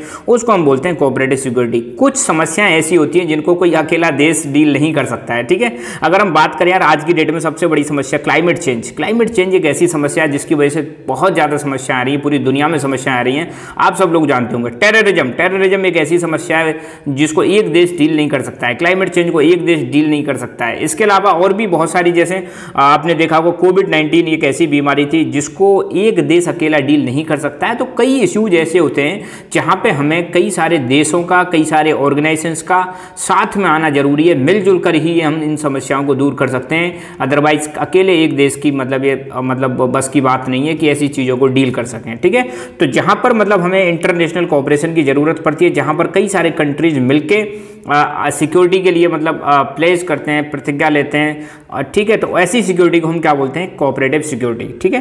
तो non traditional threats non traditional threats मैं ऑलरेडी बता चुका हूँ। ऐसी थ्रेड्स जो मिलिट्री के अलावा जितनी भी थ्रेड है, सब नॉन ट्रेडिशनल थ्रेड में आ जाएँगे। चाहे वो पॉवर्टी वाला मुद्दा हो, चाहे वो आपका क्लाइमेट चेंज से संबंधित हो डिज़ीज़ हो माइग्रेशन हो अनएम्प्लॉयमेंट हो, है ना? हंगर हो, ये जितनी भी चीज़ें सब नॉन ट्रेडिशनल थ्रेड्स में आ जाएँगी। तो non traditional threats to security require cooperation rather than military confrontation non traditional threats को अगर आपको डील करना है तो यहाँ पर आपको कॉपरेशन की ज़रूरत पड़ेगी, ना कि मिलिट्री कन्फ्रंटेशन कुछ चीज़ें ऐसी होती है जहाँ पर मिलिट्री की ज़रूरत नहीं पड़ती। है आप कॉपरेट करोगे तो चीज़ें बेटर हो सकती हैं। ठीक है? मिलिट्री फोर्स की ज़रूरत पड़ती है जब आपको ह्यूमन राइट्स का मतलब इन्फोर्समेंट करना हो, या फिर टेररिज्म से लड़ना हो, मगर मिलिट्री की कोई ज़रूरत नहीं होती अगर आपको गरीबी से लड़ना है, माइग्रेशन को मैनेज करना है, रिफ्यूजी की समस्या को डील करना है, एपिडेमिक्स को कंट्रोल करना है तो यहाँ पे मिलिट्री की ज़रूरत नहीं है। यहाँ पर ऐसी समस्याओं को डील करने के लिए आपको चाहिए कॉपरेशन बहुत सारे देश, बहुत सारे ऑर्गेनाइजेशन मिलजुल कर ही इन समस्याओं को दूर कर सकते हैं। कॉपरेशन चाहे वो बायोलेटरल हो, दो देशों के बीच में हो रीजनल हो, किसी एक पर्टिकुलर रीजन में हो, जैसे हम भारत जो है अपना साउथ एशिया में आता है तो साउथ एशिया के देश भी कॉपरेट कर सकते हैं ना? आसियान, ये एक रीजन है साउथ ईस्ट एशिया ये भी आपस में कॉपरेट कर सकते हैं। कॉन्टिनेंटल हो, एक कॉन्टिनेंट के अंदर में ग्लोबल हो कॉपरेशन किसी भी लेवल पर हो सकता है। दो देशों के बीच में, एक रीजन के बीच में, एक कॉन्टिनेंट के बीच में, या पूरी दुनिया में मतलब कॉपरेशन कर सकते हैं, ठीक है? अब कॉपरेशन किस टाइप का होगा? वो डिपेंड करता है यार, खतरा किस टाइप का है थ्रेड किस टाइप का है, और क्या कंट्री वाकई में चाह रहे हैं, उनकी इच्छा है कि वो मतलब कॉपरेट करना चाहते हैं या नहीं चाहते हैं, और क्या कंट्री मतलब रेस्पॉन्ड कर भी रहे या नहीं कर रहे हैं। तो सारा खेल कॉपरेशन का डिपेंड करता है सामने वाले के कंट्री के मूड पर एज वेल एज क्या वो वाकई में उस चीज़ को लेकर सीरियस हैं या नहीं है। कॉपरेटिव सिक्योरिटी जो है, इसमें कई सारे प्लेयर्स इन्वॉल्व होते हैं, चाहे वो नेशनल हो या फिर इंटरनेशनल हो, ठीक है? इसमें ऑर्गेनाइजेशन भी हो सकते हैं। जैसे कॉपरेटिव सिक्योरिटी में अगर हम इंटरनेशनल ऑर्गेनाइजेशन की बात करें तो कौन कौन से इंटरनेशनल ऑर्गेनाइजेशन हैं जो कोऑपरेटिव सिक्योरिटी में इन्वॉल्व होते हैं? तो सबसे इंपॉर्टेंट है United Nations World Health Organization World Trade Organization World Bank IMF ठीक है? ये दुनिया भर में कोऑपरेटिव सिक्योरिटी में इन्वॉल्व होते हैं। इसके अलावा बहुत सारे एनजीओ जो हैं, जैसे Amnesty International Red Cross private foundation charities church religious organisations भी आते हैं इसमें। ट्रेड यूनियंस आते हैं association social and development organisations आते हैं। कई सारी पर्सनलिटीज हैं जिन्होंने भी कोऑपरेटिव सिक्योरिटी को आगे बढ़ाया कोऑपरेटिव सिक्योरिटी में अपना योगदान दिया, कई देशों को बोला कि भाई आप मिलजुल कर ही चीज़ों को डील कर सकते हो। जैसे नेल्सन मंडेला बहुत फ़ेमस है। कमेंट करके बताओ यार नेल्सन मंडेला कहाँ के थे? ठीक है? मदर टेरेसा है ना? कोऑपरेटिव सिक्योरिटी ध्यान रखना, कई बार कई बार ऐसा होता है, कई समस्याएँ ऐसी होती हैं, जैसे मान लो टेररिज्म का मामला है है ना? या मतलब कहीं पे ह्यूमन राइट्स का वायलेशन हो रहा है बहुत ज़्यादा हालत ख़राब हो रही है, कहीं पे लोगों को मारा जा रहा है। तो वहाँ पर हम लास्ट रिसोर्ट के रूप में मतलब लास्ट हथियार के रूप में फोर्स का इस्तेमाल करते हैं। तो कॉपरेटिव सिक्योरिटी ऐसी बात नहीं है कि फोर्स की बात नहीं करता है। जब जब ज़रूरत पड़ती है तो कहते हैं फोर्स का भी हम इस्तेमाल कर सकते हैं कॉपरेटिव सिक्योरिटी के रूप में, ठीक है? To deal with the government at kill their own people ignore the misery of their population international community may have to sanction the use of force अगर यार कोई देश की सरकार अपने ही देश के लोगों को मार रही है, लोगों की मतलब बहुत ज़्यादा हालत ख़राब कर रखी है, लोगों की कंडीशन ख़राब है, ध्यान नहीं दे रही है तो ऐसी सरकारों के खिलाफ इंटरनेशनल कम्युनिटी चाहे तो अलाउ कर सकती है सेंक्शन का मतलब अलाउ कर सकती है फोर्स का यूज़ किया जाए, इस तरह की सरकारों से डील करने के लिए। ठीक है? यूज़ ऑफ़ जो वायलेंस है इंटरनेशनल टेररिस्ट के खिलाफ भी इसका मतलब यूज़ किया जा सकता है। एक टॉपिक और है अपना इंडिया सिक्योरिटी स्ट्रेटेजी भारत की क्या सिक्योरिटी स्ट्रेटेजी है? ये टॉपिक और बचा हुआ है, इसको भी डील कर लेते हैं। भारत की सिक्योरिटी स्ट्रेटेजी अब देखो इंडिया के सामने भी दोनों तरह की प्रॉब्लम है। ट्रेडिशनल चैलेंजेज भी अपने साथ नॉन ट्रेडिशनल चैलेंजेज भी हैं। ट्रेडिशनल थ्रेट्स भी हैं नॉन ट्रेडिशनल थ्रेट्स भी हैं। और ये थ्रेट देश के अंदर भी हैं एज वेल एज देश के बाहर से भी। भारत की जो सिक्योरिटी की समस्या है इंटरनल सिक्योरिटी की भी समस्या है और एक्सटर्नल इंटरनल सिक्योरिटी की समस्या है। तो इंडिया की इंटर जो सिक्योरिटी स्ट्रेटेजी है, इसको हम चार भागों में डिवाइड कर सकते हैं। या इंडिया की सिक्योरिटी के चार कंपोनेंट है। पहला है स्ट्रेंथनिंग मिलिट्री कैपेबिलिटीज दूसरा है strengthening international norms and institutions third है मीटिंग सिक्योरिटी चैलेंजेस फोर्थ है डेवलपमेंट ऑफ़ इकोनॉमी तो पहला हम देखते हैं स्ट्रेंथनिंग मिलिट्री कैपेबिलिटीज स्ट्रेंथनिंग मतलब मजबूती प्रदान करना, मज़बूत करना. मिलिट्री कैपेबिलिटीज मतलब अपनी मिलिट्री को बढ़ाना, मज़बूत करना. अब यार मिलिट्री को मज़बूत करने की क्यों ज़रूरत है? आप सबको पता है यार, भारत देश जो है हमारा since independence we have fought many wars with our neighbours specially अगर पाकिस्तान की बात करें तो पाकिस्तान से हमारी 1947-48 में लड़ाई हो गई थी, जिसमें पीओके चला गया। 1965 में पाकिस्तान के साथ लड़ाई हुई। 1971 में पाकिस्तान से लड़ाई हुई थी। 1971 में आपको पता है, बांग्लादेश का भी जन्म हुआ था। पहले यहाँ पे ईस्ट पाकिस्तान हुआ करता था, वो बांग्लादेश बन जाता है। नाइनटीन में कारगिल वॉर हुआ। चाइना के साथ भी हमारी लड़ाई हुई नाइनटीन में। तो इतनी सारी समस्याएँ, दो पड़ोसी देश हमारे बहुत ज़्यादा खतरनाक हैं। अब खतरनाक के लिए कुछ ज़्यादा नहीं है। मतलब हर बार पाकिस्तान पिटता है, आज तक जीता तो है नहीं हमसे। ऑल हम डिफीट खा गए हैं, चाइना से 1962 में, मगर अब पहले से हम बहुत ज़्यादा मज़बूत हैं। इसका मतलब ये है कि भाई जब हमारे दुश्मन, हमारे पड़ोसी लगातार कुछ ना कुछ षड्यंत्र करने में रहते हैं तो ऐसे में हमें अपनी मिलिट्री को मज़बूत करना बहुत ज़्यादा ज़रूरी है। तो first component was strengthening its military capabilities because India has involve in the conflict with its neighbour चूँकि हमारा कन्फ्लिक्ट हुआ है हमारे नेबर्स के साथ, इसलिए हमें अपनी मिलिट्री को मज़बूत करना पड़ेगा। और मिलिट्री ही नहीं, इंडिया को न्यूक्लियर पावर भी डेवलप करनी पड़ेगी। ये स्टार्टिंग में इंडिया को समझ में आ गया था। इसीलिए इंडिया ने आपको देखा होगा कि 1974 में, या सुना होगा, या पढ़ा होगा, या पढ़ लो 1974 में भारत ने पहला न्यूक्लियर टेस्ट किया था। उस समय हमारे भारत के प्रधानमंत्री श्रीमती इंदिरा गांधी जी थी, ठीक है 1974 सेकंड न्यूक्लियर टेस्ट अपना हुआ था 1998 में। उस समय हमारे प्रधानमंत्री श्री अटल बिहारी वाजपेयी थे, राइट? इंडिया ने, अब अब देखो, न्यूक्लियर टेस्ट क्यों किया इंडिया ने? क्योंकि भाई चाइना जो है ना, चाइना ने पहले ही न्यूक्लियर टेस्ट कर लिया था, हमसे पहले ही कर लिया था। 1964 में चाइना ने न्यूक्लियर टेस्ट कर लिया। तो यार, वो डरा था हमको, इसलिए हमने 1974 में हमने भी न्यूक्लियर टेस्ट किया था। तो मिलिट्री कैपेबिलिटीज बढ़ाना क्यों ज़रूरी है, समझ में आया? पहली बात तो हमारे पड़ोसियों के साथ लगातार कन्फ्लिक्ट होते रहते हैं, और होते ही नहीं है, हुए हैं। पास्ट में एग्ज़ाम्पल है हमारे पास। इसलिए अपनी मिलिट्री को मज़बूत करना ज़रूरी है। दूसरा जब अपने पड़ोसियों ने मतलब न्यूक्लियर वेपन डेवलप कर लिए तो हमको भी डेवलप करना पड़ा। इसलिए हमने पहला न्यूक्लियर टेस्ट 1974 में और सेकंड न्यूक्लियर टेस्ट 1998 में राजस्थान के पोखरण नाम की जगह पर ये किए थे राइट अगला strengthening international norms and institutions देखो, भारत सरकार की ये भी कोशिश रही है कि इंटरनल तो चलो हम मज़बूत कर रहे हैं मिलिट्री को। इंटरनेशनल ऐसे एग्रीमेंट और ऐसे नियमों को भी मज़बूत किया जाए जो मतलब सिक्योरिटी की बात करते हैं, जिससे सबका फ़ायदा इंडिया ही नहीं, सबका फ़ायदा because India believes in global peace Bharat जो है बिलीव करता है कि पूरे विश्व में शांति रहे, ठीक है? इस चीज़ में हम बिलीव करते हैं। और हमारी फिलॉसफी भी है, वसुदेव कुटुंबकम पूरा विश्व हमारा परिवार है, पूरे विश्व में शांति रहे, सर्वे भवंतु सुखने, इसमें हम बिलीव करते हैं। तो इसलिए हम जो इंटरनेशनल एग्रीमेंट्स हैं, उनमें मतलब बिलीव करते हैं और इंस्टीट्यूशंस में भी बिलीव करते हैं और उनको हम मानते भी हैं, ठीक है? तो second component of India security strategy has been to strengthen international norms and institutions to protect its security interest तो अपने सिक्योरिटी इंटरेस्ट को बचाने के लिए भारत की स्ट्रेटेजी है कि इंटरनेशनल जो एग्रीमेंट है नॉर्म्स हैं, नियम कानून हैं ट्रीटीज हैं, उनका क्या करना? मज़बूत करना और उनका पालन करना। इंडिया ने बहुत सारे ऐसे इनिशिएटिव्स लिए ताकि ऐसी, ऐसे नियम लाए जा सकें, ऐसे नॉर्म्स लाए जा सकें, ऐसी ट्रीटीज बनाई जा सकें जो सभी को बराबर राइट्स प्रोवाइड कराएँ और सब उनको क्या करें ऑबलाइज भी करें। तो India took many initiatives to bring about a universal and a non discriminatory non proliferation regime which will protect all which will provide all countries same rights and obligation with respect to weapons of mass destruction weapons of mass destruction nuclear biological और chemical देखो, भारत की कोशिश रही है कि अब कोई भी ऐसी ट्रीटी लाई जाए। देखो, पहले एक एनपीटी ट्रीटी थी। आप सबने सुना होगा no nuclear non proliferation treaty ये ट्रीटी क्या कहती है कि यूनाइटेड नेशंस के पाँच जो परमानेंट मेंबर हैं, वही न्यूक्लियर वेपन रख सकते हैं और कोई नहीं रखेगा। और इसको साइन करवा रहे हैं। अब यार कौन साइन कर लेगा? तुम क्यों रख रहे हो भाई? तुम भी हटाओ। तो इंडिया कह रहा है कि यार, हम ऐसी ट्रीटी लाने की कोशिश कर रहे हैं, हम ऐसे इनिशिएटिव्स लाने की कोशिश कर रहे हैं, चाहे कैसे भी वेपन हो न्यूक्लियर वेपन हो बायोलॉजिकल वेपन हो केमिकल वेपन हो, सबके लिए बराबर अधिकार होने चाहिए, बराबर ऑब्लिगेशन होनी चाहिए डिस्क्रिमिनेटरी नहीं होना चाहिए, सब पे लागू होना चाहिए, ऐसे सरकार इनिशिएटिव्स लेके आ रही है, भारत के ऐसे मतलब प्रयास है right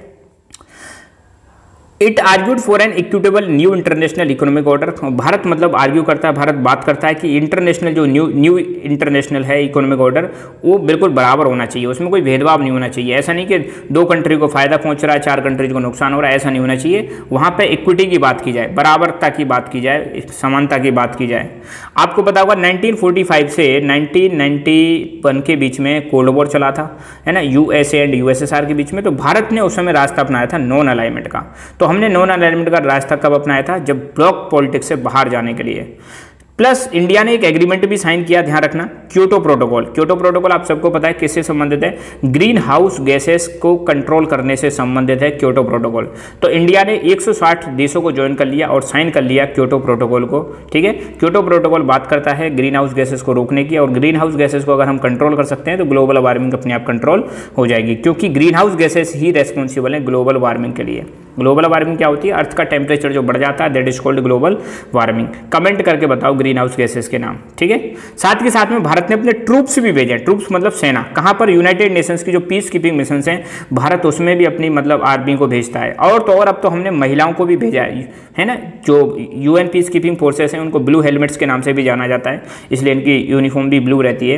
तो भारत ने अब मेल छोड़ो फीमेल को भी यहाँ पे भेजना स्टार्ट कर दिया। तो ये चीज़ दिखाता है कि हम कितना ज़्यादा कोऑपरेटिव सिक्योरिटी में बिलीव करते हैं। मीटिंग सिक्योरिटी चैलेंजेस तीसरा कंपोनेंट है भारत की सिक्योरिटी का, कि अपने आप को तैयारी, तैयार करना सिक्योरिटी चैलेंजेस से डील करने के लिए, चाहे वो इंटरनल हो, चाहे एक्सटर्नल हो।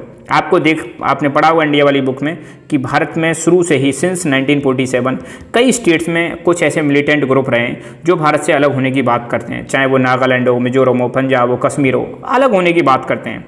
तो ऐसे ऐसे लोगों से डील करने के लिए भारत ने ऑलरेडी प्लानिंग कर रखी है ठीक है? इंडिया की कोशिश है शुरू से ही कि नेशनल यूनिटी बनी रहनी चाहिए। और हम मतलब इन इन चैलेंजेस से डील करने के लिए डेमोक्रेटिक पॉलिटिकल सिस्टम अपने यहाँ पे है। हम अलग अलग कम्युनिटी अलग अलग ग्रुपों के साथ फ्रीली मतलब बात करते हैं और उनको बोलते हैं कि भाई अगर आपकी कोई समस्या है तो आप बताइए। मतलब अपनी मतलब आ, समस्या को ऐसे नहीं मिलिट्री के थ्रू या मतलब आप मिलिटेंट बन मतलब अपनी डिमांड पूरी करवाना चाहते हो दैट इज़ नॉट पॉसिबल हम चाहते हैं आप आओ, बात करो और इवन पॉलिटिक्स में भी आप पार्टिसिपेट करो, ठीक है? तो ये जो चैलेंजेज हैं, ऐसे चैलेंजेज को डील करने के लिए भारत अपने यहाँ पे सिस्टम जो है, वो है डेमोक्रेसिक या डेमोक्रेटिक मीन्स के थ्रू हम मतलब डील करना चाहते हैं। ऐसे लोगों से जो भारत से अलग होने की बात करते हैं। ऐसा नहीं है कि इनको मतलब हम बहुत ज़्यादा हार्श तरीके से डील करते हैं राइट अगला अपना सिक्योरिटी अपनी इंडिया की सिक्योरिटी को स्ट्रेंथन करने का पिलर है that is development of economy देखो यार किसी भी देश की जब तक इकोनॉमी मज़बूत नहीं होगी ना तो कुछ भी मज़बूत नहीं हो सकता। हम भले ही कितनी भी बात कर लें मिलिट्री भी तो यार जब भी मज़बूत होगी, जब अपने पास पैसा होगा, है ना? वेपन्स भी अपने पास कब आएँगे जब पैसा होगा। न्यूक्लियर वेपन्स भी कब कब प्रिजर्व करके रख सकते हो, उनको कब बढ़ा सकते हो जब आपके पास पैसा होगा। अब इंटरनल सिक्योरिटी को भी अगर आपको मज़बूत करना है तो यू ऑल्सो नीड मनी तो सबसे ज़्यादा इंपॉर्टेंट है भाई इकोनॉमी को मज़बूत करना, ठीक है? तो India's attempt to develop its economy in a way that mast mass that vast mass of citizen are lifted out of poverty and misery and huge economic inequalities are not allowed to exist Bharat का मतलब कोशिश है कि अपनी economy को मज़बूत किया जाए। ज़्यादा से ज़्यादा जो सिटीजन है, इनको गरीबी से दूर किया जाए। उनकी जो माइजरी है, उनकी समस्याएँ हैं, उनसे उनको ऊपर उठाया जाए। और जो इनक्वलिटीज़ हैं रिच एंड पुअर के बीच में जो गैप है, उसको कम से कम किया जाए। इन सब चीज़ों को बिल्कुल ख़त्म किया जाए। ये भारत की मतलब कोशिश है और ये कोशिश कब पूरी होगी? जब हम अपनी इकोनॉमी को मज़बूत करेंगे। और आपको पता ही होगा 1991 में भारत ने एल पी जी रिफॉर्म से लेकर आया था इंडिया है ना? लिबरलाइजेशन प्राइवेटाइजेशन ग्लोबलाइजेशन पर्पज यही था कि अपनी इकोनॉमी को मज़बूत कराना। हर देश की डेमोक्रेटिकली इलेक्टेड गवर्नमेंट पर एक दबाव होता है कि भाई वो इकोनॉमिक ग्रोथ भी करें और साथ के साथ में ह्यूमन डेवलपमेंट भी करें। ठीक है? तो अपनी भी सरकार पर एक दबाव है कि भाई आपको डेवलपमेंट तो लाना है, मगर ह्यूमन डेवलपमेंट को भी लेके आना है। आपको ग्रोथ भी अचीव करनी है ह्यूमन डेवलपमेंट भी अचीव करना है। ह्यूमन डेवलपमेंट में आपको हेल्थ एजुकेशन बेसिक फैसिलिटीज़ इन सब चीज़ों पर भी फोकस करना है। ठीक है? तो डेमोक्रेट गवर्नमेंट एक अच्छा तरीका होता है। डेमोक्रेसी ही एक अच्छा तरीका है जो मतलब ज़्यादा सिक्योरिटी हमें प्रोवाइड करा सकती है। तो यहाँ पर आपको मैं बता दूँ, आपकी बुक जो है कंप्लीट खत्म हो चुकी है। सारे चैप्टर्स के वीडियोज़ आपको अवेलेबल हैं, ठीक है? और प्लेलिस्ट में ऑलरेडी बना चुका हूँ। और जितने भी हमारे वीडियोज़ आ रहे हैं, आपको मिल जाएँगे। टेलीग्राम चैनल जो है, अपने यहाँ पर लिंक मिलती रहेगी। क्लास ट्वेल्थ की हिस्ट्री, पॉलिटी जोग्राफी की प्लेलिस्ट मैंने यहाँ पे बना रखी है। ये हिस्ट्री की है, ये पॉलिटी पॉलिटी दो पॉलिटिकल साइंस की प्लेलिस्ट हैं, यहाँ पे दो जोग्राफी की प्लेलिस्ट हैं। और यहाँ पे फुल फुल चैप्टर्स की भी प्लेलिस्ट मैंने बना रखी है। खूब डिटेल्ड में वीडियो है आराम से इनको देख सकते हो, पढ़ सकते हो। फिर भी कोई टॉपिक समझ में आए तो कमेंट करके बताएँ। उस पर एक डेडिकेटेड वीडियो बना दी जाएगी। So thank you thank you so much